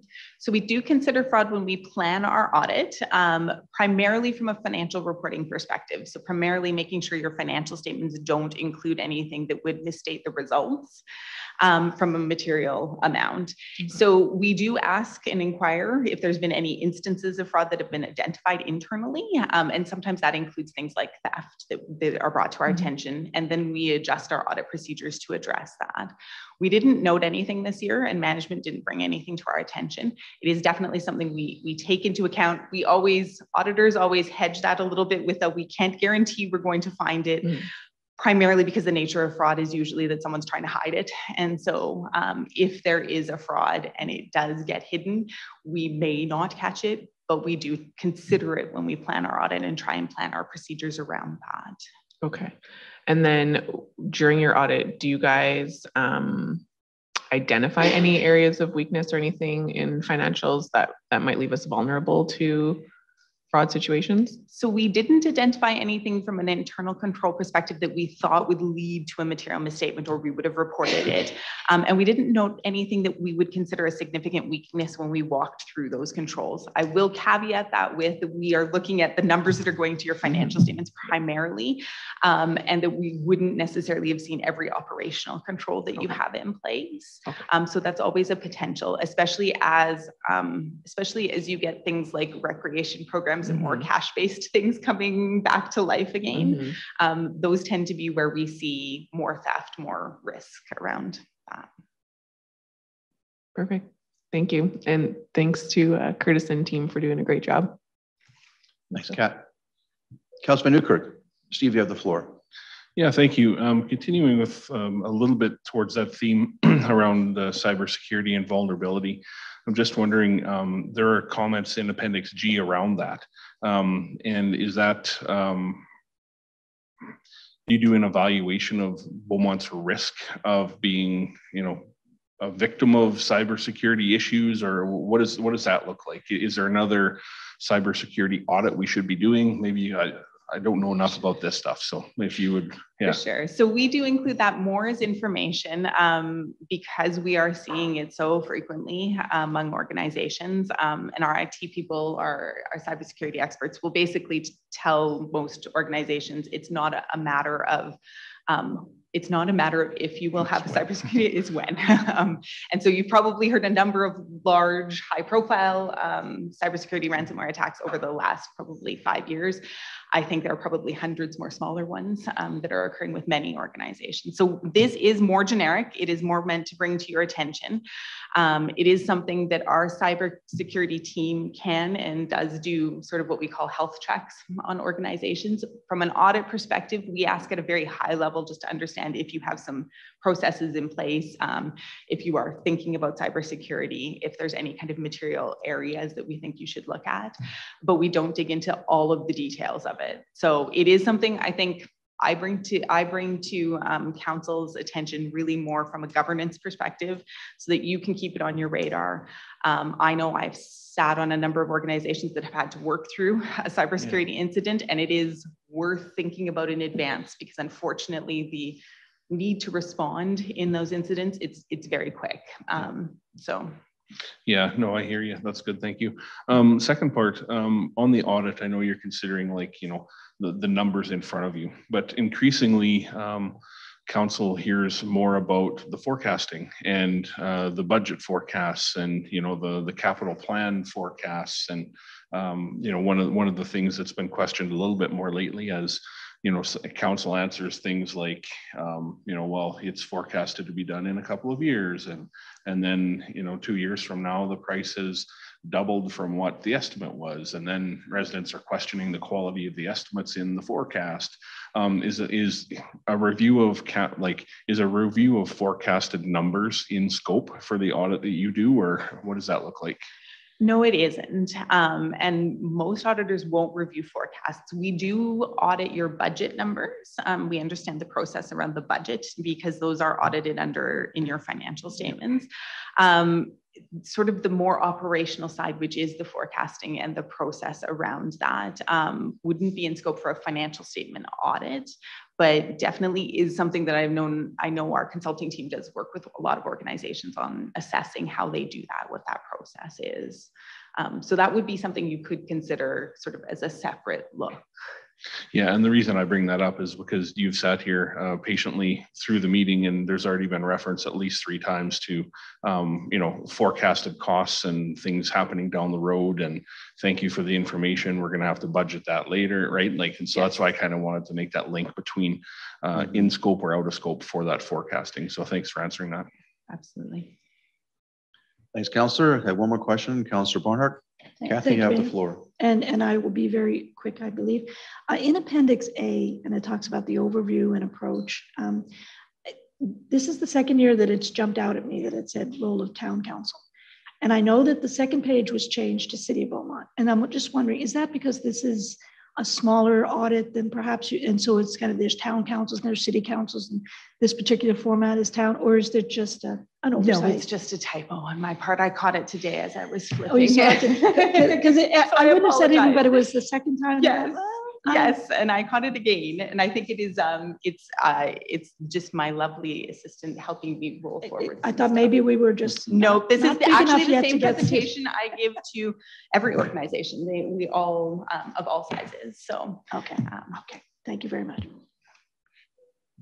Thank you, Councillor. So for the questions, thank you, Ms. Mikado, for your presentation. Appreciate that. We'll uh, see you next year, I guess. Terrific. Sounds good. Thank, thank you. you. very much. And with that, Council, we will take a five-minute break. We'll come back, Mr. DeBlanco, for the financial statements, and then do a motion to accept the auditor's report and financial statements at the end of Mr. DeBlanco's presentation. So with that, we'll take five, and we'll see you.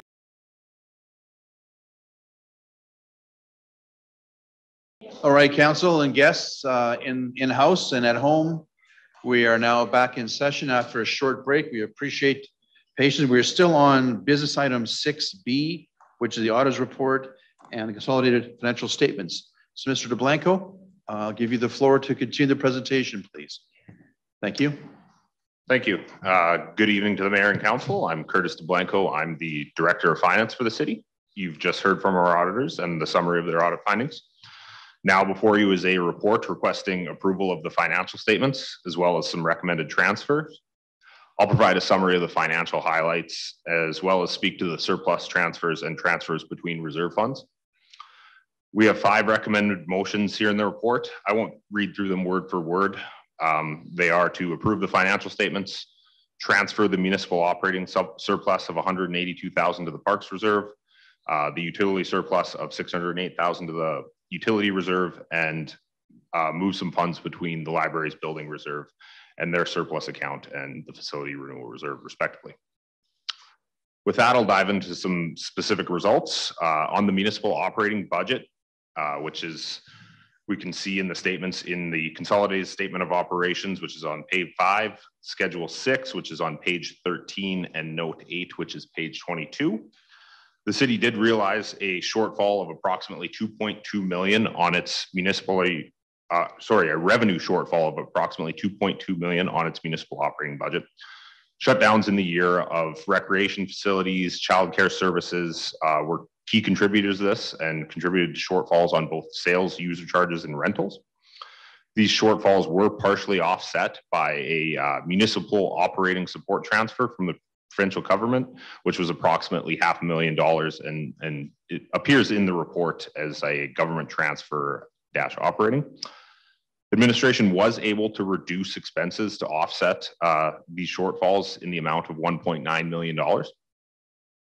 And at the completion of the year-end audit, the 2021 municipal operating surplus is approximately $183,000.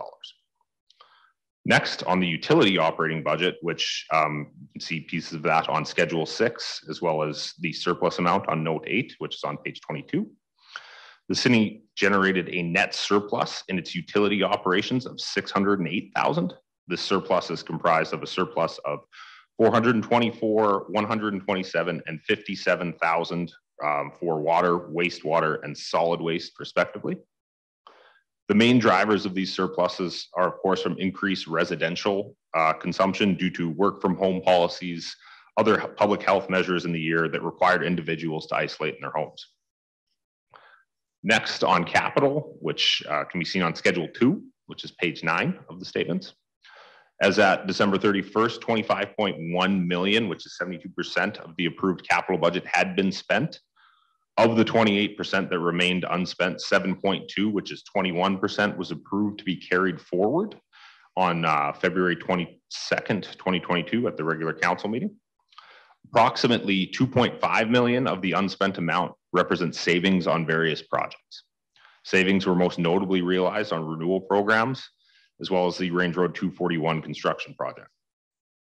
As these projects are funded from reserves and offsite levies respectively, these unspent funds may remain in each of these accounts and would be available to fu fund future renewal and offsite levy projects. Next, for the city's reserve balances, which is note 10 or page 23. The 2020 municipal operating budget required reserve draws of approximately a million dollars, which is approximately 400,000 under the budgeted amount of 1.4 million. The decrease in this draw was from, from phase in and contingency funds that were not required in the year. Some specific one-time operating projects also did not draw from reserves. These funds are requested to be carried forward in the 2022 budget year. From a capital reserve perspective, 3.1 million was required to fund capital projects in the 2021 year, and 600,000 of pay-as-you-go funding was utilized. No reserve draw was required for utility operations in 2021. Next, for some recommended transfers, uh, which is contrib- or note eight would have the amounts, which is page 22. Administration is recommending that the municipal operating surplus of 183,000 be transferred to the parks, playground, and playfield reserve to bring this balance in compliance with the city's reserve policy. At year end, all other reserve balances are within optimal balance ranges as specified in Council Policy C40. Independent of the municipal operating surplus is the net library operating surplus of 15,000 that administration is recommending remain in the library's unrestricted surplus account and to be allocated at the library board's discretion. Administration has also recommended the transfer of the accumulated surplus from prior years for the library. This balance is currently 162,000, which is currently sitting in the city's library building reserve. This amount is recommended to be transferred to the library's unrestricted surplus account with that 15,000 we discussed before. Administration has recommended the transfer of $22,000 from this library building reserve to the city's facility renewal reserve. This 22,000 reflects the city's total contributions to the library building reserve, as the library building is a city-owned asset, and would complete the consolidation of the city's facility renewal reserve funds. Finally, administration recommends that the utility operating surplus of 608,000 be transferred to the utility reserve. This reserve will remain in optimal range as specified by uh, the council policy C40.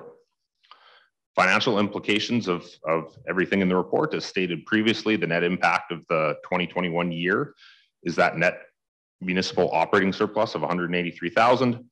The transfer of this amount to the Parks Reserve will increase the balance from a deficit of 9,000 to a positive amount of 174,000. After these adjustments recommended for the library's operating surplus and transfers from the building reserve, the library's unrestricted surplus account will increase from the 30,000, which it has carried forward year over year, to 208,000.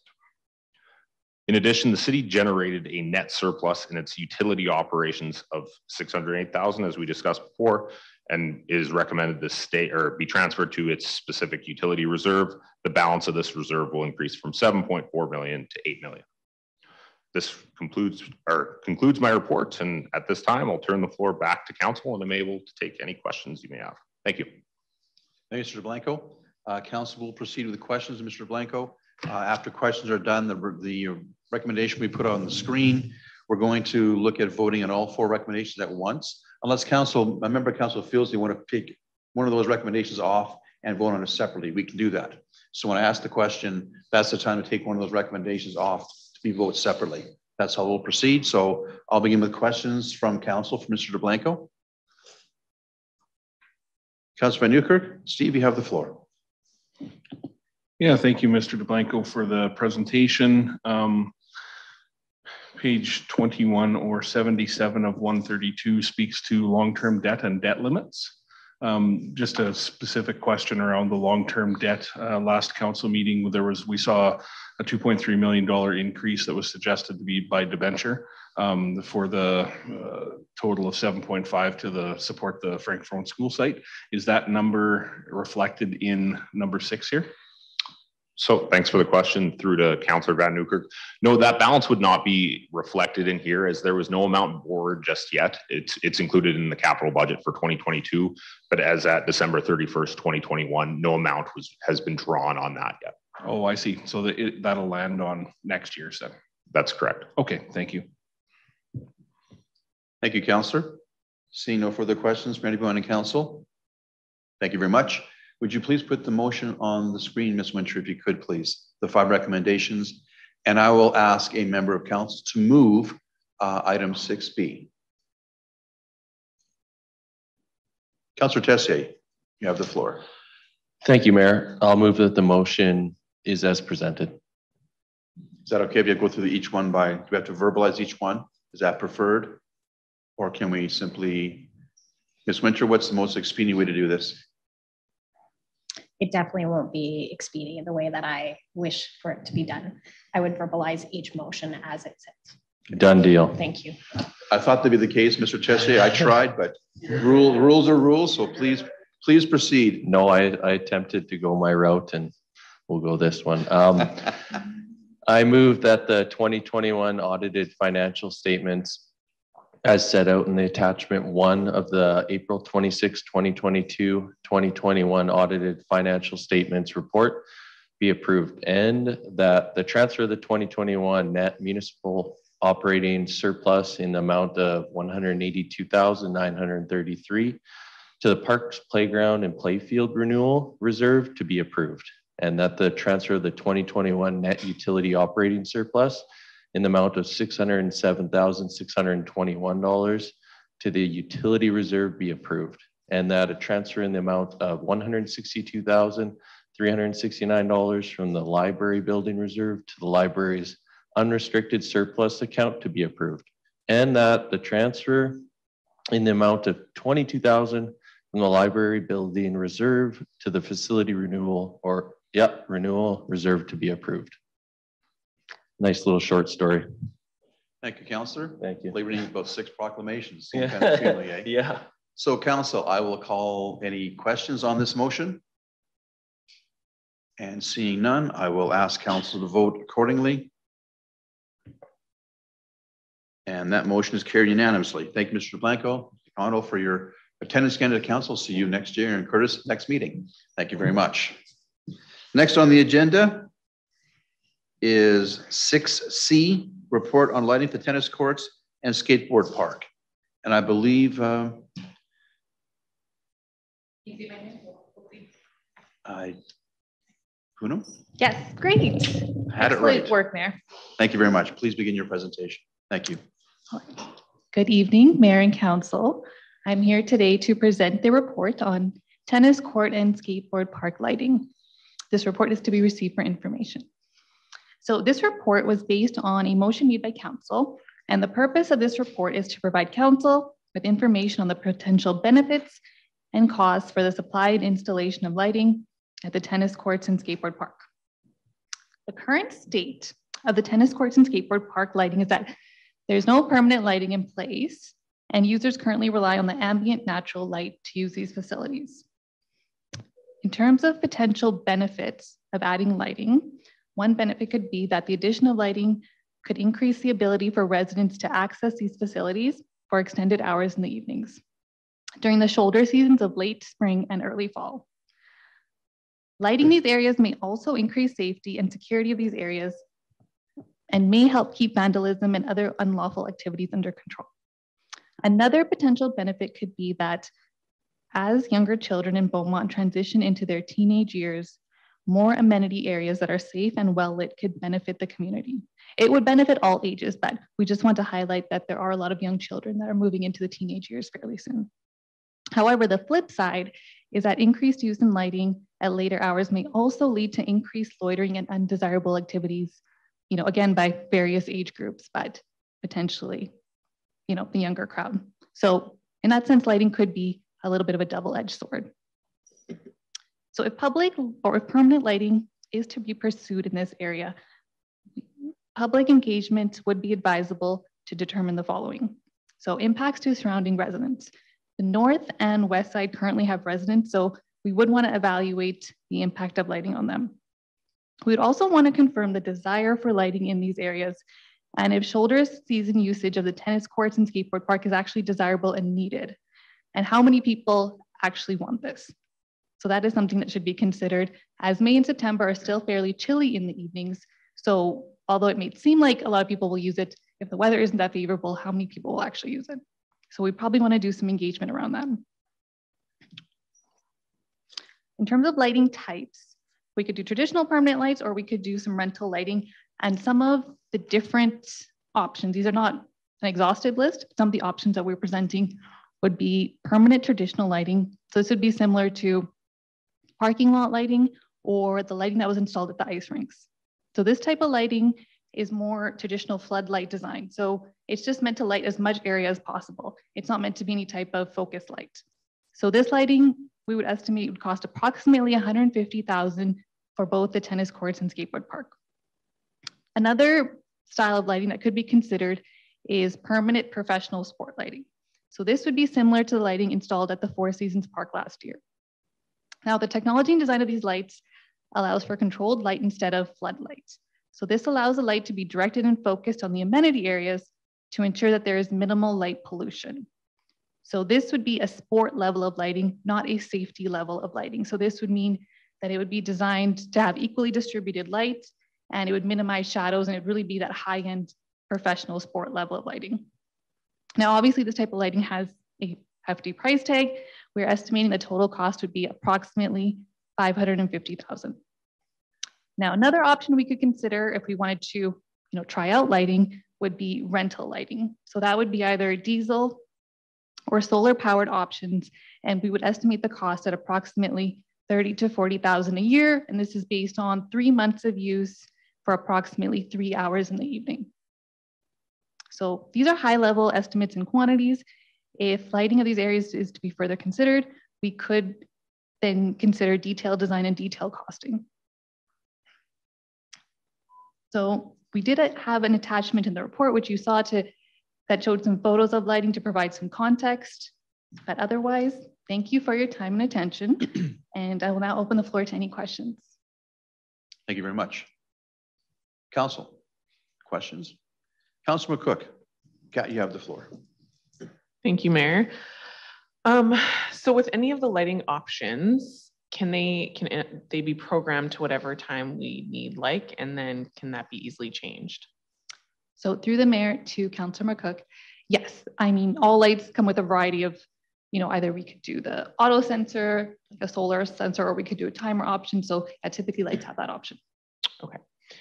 And one more question. Um, were CPTED principles considered when choosing the appropriate amount of lighting for the courts? Or because we talked about like the sport level, which would basically just shine on the courts versus the safety kind of lighting? Um, or will that be something that's more considered during like a public engagement? So through the mayor to Councilor McCook, that detailed design would be considered in a further step. Right now, this was high, like the sport lighting was considered at a sport level, mm -hmm. but the estimate for the permanent light poles was you know, more of an estimate, for just general lighting of the area. Okay, thank you. That's it, Mayor. Thank Welcome. you. Great. Thank you, Kat. Councilor Barnhart, Kathy, you have the floor. Thank you, Mayor, and thank you very much for the work you've done on this report. It's great to have this information. Um, if we receive this as information, is the administration going to proceed to public engagement or do you need a further motion to do that? Through the mayor to Councilor Barnhart, I believe a further motion would be required. Okay, so at this point, you're asking council to decide lighting or no lighting, or you're asking us to decide to take it to the next step to find out what the community thinks. I can help with that. We're just being asked to accept as a report for information for right now. No decision being required this evening. You asked for a decision. I understand that, but if we wanted to go further, we'd have, the answer was we'd need to say we wanted her to take it further.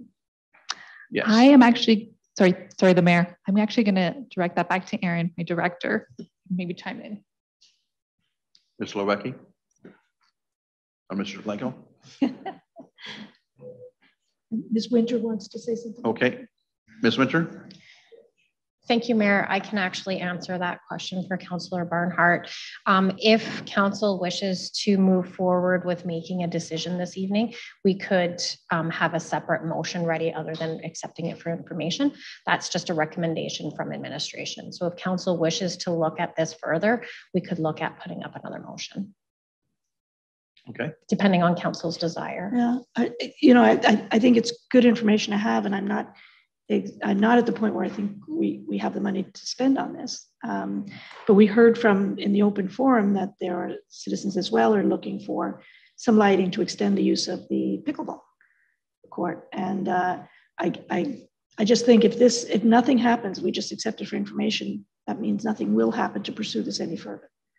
So that's my concern. And anxious to hear what the rest of council thinks on this, but I mean, it wasn't my request for this information that came from other councilors, but I, I am hearing now from the community that that's not a, it, it's not out of the realm of possibility to have some type of lighting there certain times of the year. Um, so I'm, I'm curious to know what the next steps are. That, that's basically my question. Okay. Thank you. Understand your question. And council, please have your mics closer to your mouth or speak louder. One of the two would be appreciated. Thank you. Uh, Councilor Munckhof-Swain, Sam, you have the floor, followed by Councilor Miller, followed by Councilor Van Nieuwkerk. Sam. Thank you, and, and, thanks very much for the comprehensive report. Um, just to, I want to speak to your question, Councilor Barnhart. So today I was prepared to accept this as information. Um, I, I, I wouldn't want to go further on an engagement piece yet. Uh, you know, this is a capital ask. We've set up a process um, where we're going to, as council, going to talk kind of in, in Q2 around the different capital items that are potentially going to come up at budget. Um, and I would like to, before making a decision on whether we go and ask administration to do engagement on that, I, I think we should have that conversation first and see where that fits with, within our piece. I, I agree, it would be great information to have. Um, I just, one of the, my thought process around setting up that um, that budget conversation in advance of the budget was to so that we wouldn't have the, the, these one-off type, type conversations. So um, I, I, don't want to speak to a motion that hasn't been put on the floor yet, but um, if you're picking up what I'm putting down here, uh, I, would be prepared to accept it as information today, um, but certainly would like to have this conversation um, uh, when we get into that um, and, that budget process. So I'll leave it there. Thank you, Sam. I understand what you're saying. Appreciate that.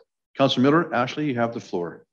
Thank you, Mayor. I was going to kind of just reiterate the same thing. I think this is something that, um, given the response from residents that we've seen without public engagement so far, we do need to explore it, but I think we should compile it with what we are going to in um, the capital asks. So um, I do just want to highlight a couple things. Um, Mr. Yatskoff had asked before um, in his open forum. Um, I see you have included the options for solar powered. He did mention that, so that's um, a benefit. I don't know if he's um, if he's watching, but I do like that you had highlighted that. And I believe um, there was one other thing in here. Oh, the motion sensor. Uh, I believe that's also highlighted as well. So um, I look forward to uh, the options on those. I'm not so convinced. Uh, I don't want to get into debate, obviously, that we need it for the skate park at this point, and if that's a good idea, but um, I accepted it as information myself. So thanks. Thank you, Ashley. Councilman Nieuwkerk, Steve, you have the floor. Yeah, thank you. Um, I think the report like this is really helpful as we uh, consider and think big picture about a few things in the community and uh, move towards a, a June kind of pre-capital review and then budget in the fall. And for me, there's a couple of things to uh, consider as well on top of what's been said, and that is the, uh, the, the, the space planning and space review of all the uh, uh, city-owned and civic buildings and facilities and civic-owned land that I think is expected in Q2. Um, and then there's also the uh, our places and play master plan, you know, which actually, as I pointed out earlier, uh, shows a pickleball expansion in 2021. And I know the, the dates are off a little bit there, but it does give some prioritization to, um, you know, some things over another at that point in time when that report was made. So um, I think that the lighting considerations would change and the numbers would change if we were making the court bigger. So, you know, if the land around it used, gets used for something else, or the courts are made bigger or anything like that, that will change all of these numbers. So um, uh, today I'm uh, willing to accept this information. Thank you. Thank you. Councillor, see Councillor Tessier, you had your button on. Did you, you took it off? Go ahead, Renee, you have the floor. Thanks so much. And just a comment on the the timer and the motion sensors, just a personal comment. I think if we were to go motion sensors, you still have to have it on a timer because, you know, if there's kids playing or going in there at 1 a.m. and everyone walking by keeps coming on and off, uh, just a comment for that. And then, yeah, it would be good to look at the costs of expansion versus lighting too, and you know which one you put ahead of the other. So, yeah, thanks again. Interesting stuff. So, looking forward to where it takes us. Thank you, Councillor. One quick question for myself, and I'll ask for the motion to accept report as information. Um, the last uh, temporary rental lighting was looking at 30 to 40,000 a year. I'm assuming that we would rent those units on a total rental basis. Um, it is possible to have information coming back to council later time to see could we purchase those units as opposed to doing the, the tall light towers that require a lot more installation. Could we purchase a, a temporary one in the picture and just have that to move around as we needed to. So wasn't part of the report. I'm not sure I want to ask for any more information, but that's something we could get at a later time. That would be appreciated. So at this point, I'll ask for a motion from council to accept the report as presented. Once it's on the screen for us there, Councillor Miller. Go ahead, Sure, thank you, Mayor. I move that the April 26, 2022 report, tennis court and skateboard park lighting be received for information. Thank you, Councillor. Discussion on the motion? Seeing none, I'll ask council to vote accordingly. Motion carries unanimously. Thank you, council. Thank you, Poonam. Great. Thank you, everyone. Thank you, council. Our next order of business on our agenda is six D, Mayor Daniluk, motion following notice, short-term rentals. I'll wait for the motion to be put on the screen.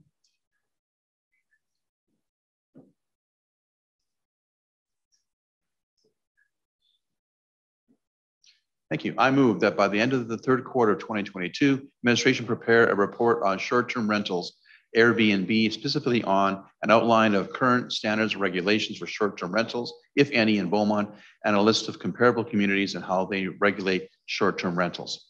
I'll speak to my motion if I may. Council looking for support for information purposes to address some concerns from residents regarding homes that are being used for rental purposes that sometimes tend to be uh, less than well maintained. There's issues with uh, with partying and so on.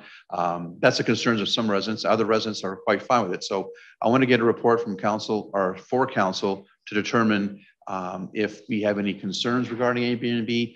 Do we need to um, look at a bylaw in the future? The report will give us the groundwork to consider any future steps. So with that, I'll take any questions from council if they have some for me before I ask you to vote accordingly.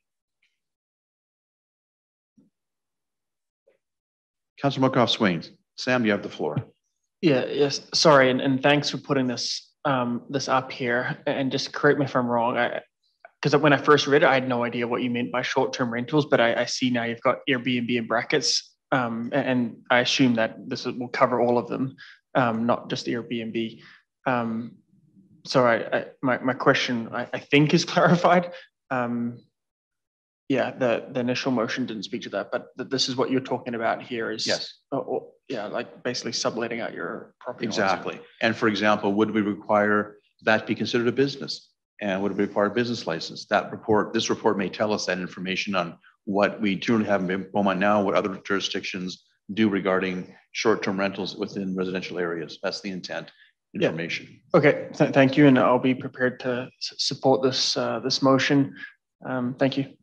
Thank you, Councillor. Councilman Nieuwkerk, Steve, you have the floor.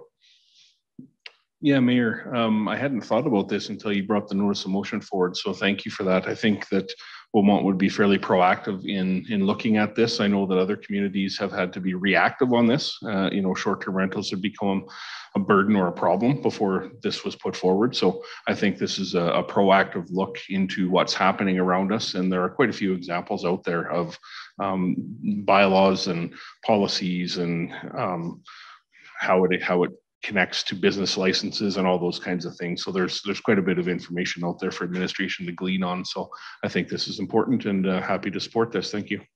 Thank you, Councillor. And one last thing too, just to be clear, uh, council members, uh, this was brought to my attention by, by a couple of residents who had some concerns and I discussed it with them in administration. I thought it's worthwhile to have a report for information purposes and see where, where it takes us. So see no further questions from council. Thank you. I will ask for, you. oh, sorry, Councillor Tessier. Uh, go ahead, Renee. Um, obviously in support of this, but would something like this be going into the land use bylaw? Or would it be a separate report coming back and if it were to move forward, where would it go? My understanding would be, would be a, a separate bylaw. However, the report will tell us if we are looking to proceed, how best to proceed is my understanding from talking to administration on a future report coming back. So I think that that'll probably answer your question for this evening. Perfect, thanks. Thank you, I appreciate that. Seeing no further questions, council, I'll ask you to vote accordingly on the motion. And that carries unanimously. Thank you, council. Next order of business is the bylaws seven B, bylaw ten thirteen 22 2022 property and tax supplementary property tax report. And I believe, um, Mr. Blanco, are you speaking this this evening? Thank you. Please proceed, Curtis. Good evening again. Uh, once again, Curtis Blanco, Director of Finance for the city, back again with a report to present or present the uh, 2022 property tax and supplementary property tax bylaw. At the December 14th, 2021 council meeting, council approved the 2022 budget and the financial and capital plans. This budget included a 2.4% property tax levy increase, subject to adjustments based on finalized property assessments. Then at the April 12th, 2022 council meeting, uh, administration presented amendments to the approved budget, which included increased municipal uh, tax revenue due to real assessment growth of 271,000 and increased requisition tax amounts of 291,400. This 2022 property tax and supplementary property tax bylaw has been prepared based on this amended budget and the finalized assessment numbers.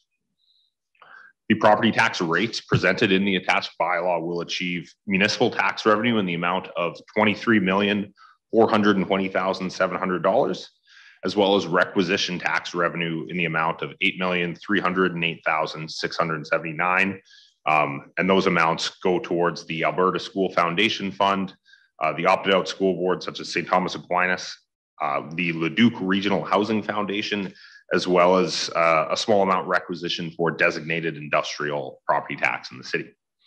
Um, although the blended tax levy, which is net of growth, has increased 2.4%, the impact of the increase between properties will vary uh, depending on how an, an, individual's property has, has either increased or decreased compared to the average in the city.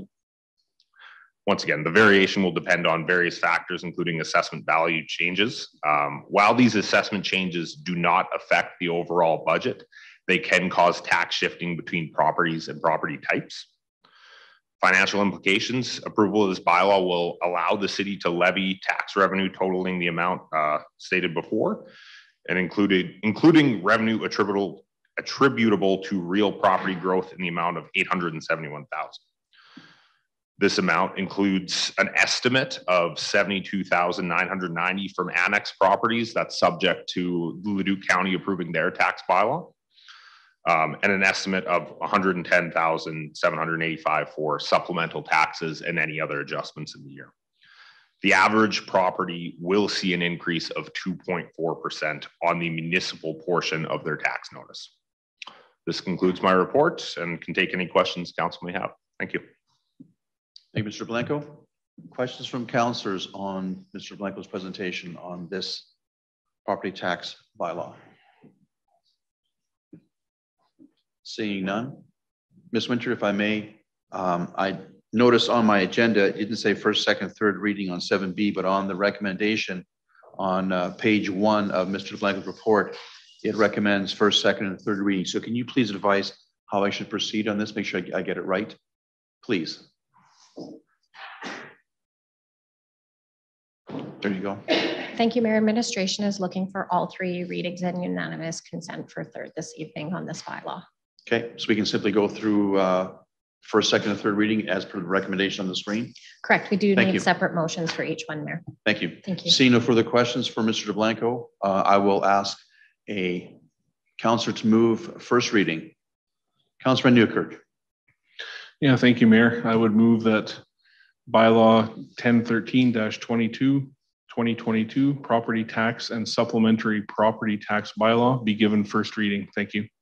Thank you, Councillor. Discussion on the motion, Council? Seeing none, I'll ask you to vote accordingly. And that passes unanimously. Thank you, Council.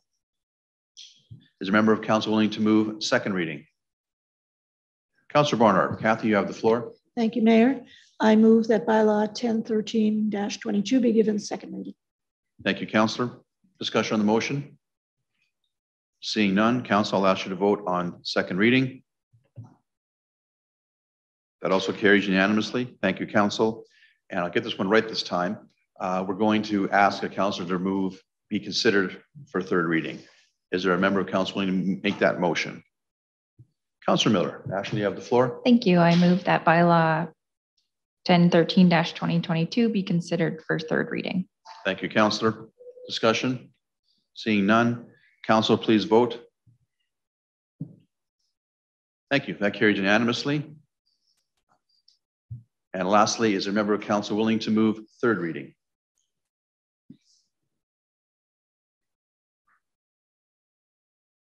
Councilor McCook, Kat, you have the floor. Thank you. I move that bylaw 1013-22 be given third reading. Thank you, Councillor. Discussion on the motion. Seeing none. Council, please vote accordingly. And that also carries unanimously. Thank you, Council. Thank you, Mr. Blanco, for your presentation this evening. With that, we will now move into section eight of our agenda, Councillor inquiries, responses, and reports. Any council members wish to make an inquiry, a response, or report? I'll begin with Councillor Munckhof-Swain, followed by Councillor Barnhart, followed by Councillor Van Nieuwkerk. Sam, you have the floor. Yeah, thank you, um, Mr. Mayor. And my, my, my question uh, is for Mr. Suter, and, and um, it'll pop up on the screen here. Um, so I'll read the question into record and, and recognize, uh, Mr. Suter, you're not going to have the answer tonight. Um, so just acknowledge that up front. But uh, I'm asking that you please provide information on any restrictions for participants and spectators attending and using the new multi-use field. Um, and just to provide the background on it, you know, the community is obviously very excited about, um, you know, checking out some events down there, but you know, hearing some some grumblings through the community around, you know, not being able to bring chairs down. You can't bring, you can't have coffee on the field, and um, and you know, there's limits around, you know, how close your kids can be, all that sort of stuff. And so I, am sure a lot of it is anecdotal, and and I'm looking for you to to provide some some more um, the facts that I can share back um, so that uh, obviously the community can enjoy this the space. Obviously, recognizing it's a brand new field, we want to look after it, um, but we also want to make sure that it has the community feel there. So uh, I appreciate that. That, um, that uh, I just want to provide that additional context. So thank you. Thank you, Councillor. Councillor Barnhart, Kathy, you're next. You have the floor. Th thank you, Mayor. Uh, I have an inquiry and then I have uh, an item to mention in reports. You like me to separate the two, just do the inquiry and then come do the back to me after? first, please, then we'll do reports. Thank you. Uh, and I did give the uh, CAO a uh, heads up about this one. Um, I would appreciate, and it, I don't need the answer right now, but I would appreciate coming back to council. Um, an update on the status of derelict buildings that we have on the southeast quadrant uh, of Beaumont, right on Route 625. There's a number of structures there that are really looking quite run down and graffiti's now there and getting worse. So I, before something happens and someone gets hurt, I'd like to know what the, uh, what if anything the city can do or has done for that property. So that's my inquiry. And where's it located again, please, if you could clarify? On 625, there's a, I think there's four or five, maybe six structures there that are vacant, derelict buildings. Okay. And there's graffiti quite, you haven't driven that way, I, I imagine, because Um, you can't I miss have it it. for a couple Can't miss days it. now, so. Uh, I come down the, you know, the, the side road and then I, I head to the west and every time I do it, I keep thinking, I have got to raise that. That is So, just, sorry. it's an eyesore. North side of 65 or south side of North 65? side, North on, side. on, both- well, on our, Yeah, okay. I'm just side curious of this for one. clarifying. Thank you. yeah, no, take a ride over, you'll see what I mean. Okay. Thank you. Councilman Nieuwkerk, Steve, you have the floor for inquiries. Yeah, you bet. Um, some context around, uh, my inquiry here tonight. So the inquiry is this, um, please provide an update on the status and timeline of the required street curb and landscape repairs on 50th Street northbound, uh, following the servicing of the new La Rev area in late fall 2021. Um, so that work, um, just for context there, uh, for council and the community, that work occurred right up against the edge of winter. Um, and, uh, the construction was, um, prolonged and it made those, uh, those repairs had to be made in haste. And so there's some curbing that needs to be repaired, some landscape and the, the patches on the actual asphalt are, are not very good. So, um, just looking for a timeline and a status update on that from administration. So thank you. Thank you, Counselor. Seeing no further inquiries, we'll move to responses and reports. So Counselor Barnhart, you mentioned you have a report you'd like to mention. So Kathy, you have the floor. Yes, thank you, Mayor. And this is just a quick reminder in case councilors may have forgotten. I know, Mayor, I believe you've registered for the municipal conversation that the Leduc Regional Housing Foundation is having on May 16th. Yes. And I, the notice has gone out again. We, we sent a save the date out quite a while ago, and I just thought it might have slipped from the radar of council. But uh, just a, a reminder that uh, talking within the region about affordable housing is, has become more and more of an issue in terms of uh, uh, the provincial government providing opportunities, I could put it that way. Uh, others may not put it in the same light to look at a needs assessment for housing in our region. So uh, I, I think it's important for all counselors to be brought up to speed on what's happening. And, and City of Beaumont is participating, uh, administration is participating directly and making um, presentations on affordable housing on our strategy. So I thought it would be very important if we could attend. And uh, it's in the uh, Denham Inn in uh, Leduc. It's an in-person event. Thank you. Thank you, Counselor. I look forward to attending that with you on May 16th. That's a Wednesday morning, I believe.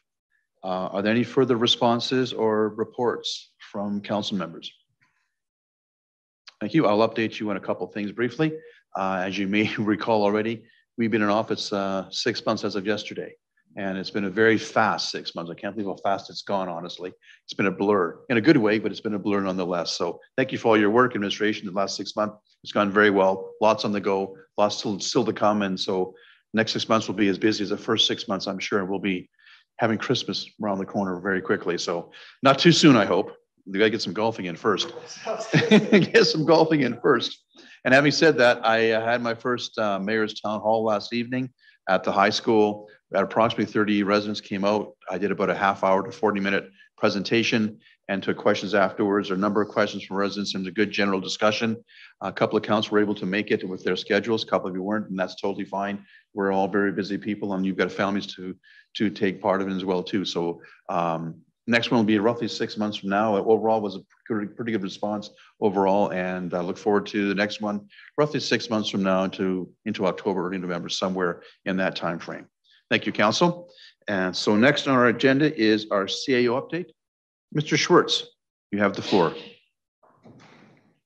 Did I hear Councillor McCook say we wanted summer before Christmas? Yeah, okay, good. Yeah. Thought I was losing my mind there. it's going to go by fast. Okay, I've got, I've got, a few things. I'll be very quick here. Uh, I wanted to uh, acknowledge a couple of responses from the Beaumont Fire Services. On, on Easter Monday, there was a structure fire on Range Road 243 and uh, 505, and uh, there was no injuries. We had more than 12 volunteers who showed up, and they worked for eight hours with an assist by uh, Leduc County. Nobody was, uh, everybody was extracted, whoever was there. There was renters in the top floor and the bottom floor. Um, so again, thank you very much to to Beaumont Fire Services. And then yesterday afternoon, you may have noticed that we had a wildland fire uh, in our southeast corner. Uh, so they responded to that. It had a potential to really go sideways, being the wind. And uh, I know Councillor Tessier, you would have when I spoke to the captain this morning or to the fire chief this morning, he talked about rolling up there. And when you roll up to those wildland fires, you don't know what you're getting. You got wind going everywhere, and they're usually hard to, to get under control. Um, they had the fire out at 7.30 and then headed back, back to the, the hall to uh, clean up all the equipment and uh, get back in service. And we were back in service by 2100 by nine o'clock. Uh, again, thank you. We had uh, firefighters who were coming back because it was the end of the day. So they were coming back from their regular jobs, coming back to Beaumont, driving directly to the hall, grabbing their gear, and then driving down to the, the site and, and jumping in to help. So that's pretty awesome. We, uh, we had a lot of people who showed up and they all stuck around afterwards to, to clean up. So thank you very much to Beaumont Fire Services. A couple other items, and then I got I'll send you an email because there's a number of things that, that I want to share with you around CCBCC bookings, around street sweeping. I'm going to talk about street sweeping in a second. Um, what, but before that, I'll just one more thing is StatsCan's releasing their demographic uh, profile data tomorrow. So I'm really going to be excited to see what that looks like for the city of Beaumont. And, and as soon as we get that, we'll uh, definitely get something into council's hands and out on social media. And street sweeping, uh, talk to uh, uh Aaron earlier today, uh, we're continuing on, on our P1s, which are essentially 50th Street and 50th Ave, and then we start moving into different quadrants of the city. So the first one that they're moving into is Colonial, the northeast quadrant. Immediately after that, they go southeast and southwest, and then northwest. We rotate that every year so that it's fair. It takes about a week to do a quadrant, weather permitting. So people, we're signing it up out there. Uh, you saw the markers on 50th. Uh, it's they're doing a great job, and it sure sure looks good out there. So wanted to uh, pass that along and, and, ask for our motorists' uh, patience as well. And as I said, I got a, a number of other things that are uh, bookings and uh, and the dog park and, and and those types of things. We're we're beginning to take uh, um, bookings for the multi-use field effective May 1st. We have switched from construction to operations, so we have taken it over. So that's pretty exciting. And that's all I had for tonight. Thank you. Thanks, Mr. Schwartz. Appreciate that. The next item on our agenda is number 10, notices of motion. Are any council wishing to make a notice of motion this evening? Not that I'm aware of, unless something else has popped up. No. Thank you, council. Appreciate that. Uh, next on our agenda is closed session. We've already done that on the consent agenda. And I believe that brings us to the conclusion of our agenda this evening. So unless I missed something, Ms. Winter, on our agenda, I think we're good to adjourn. Thank you very much. Uh, at 821, we are adjourned. Thank you, council and administration.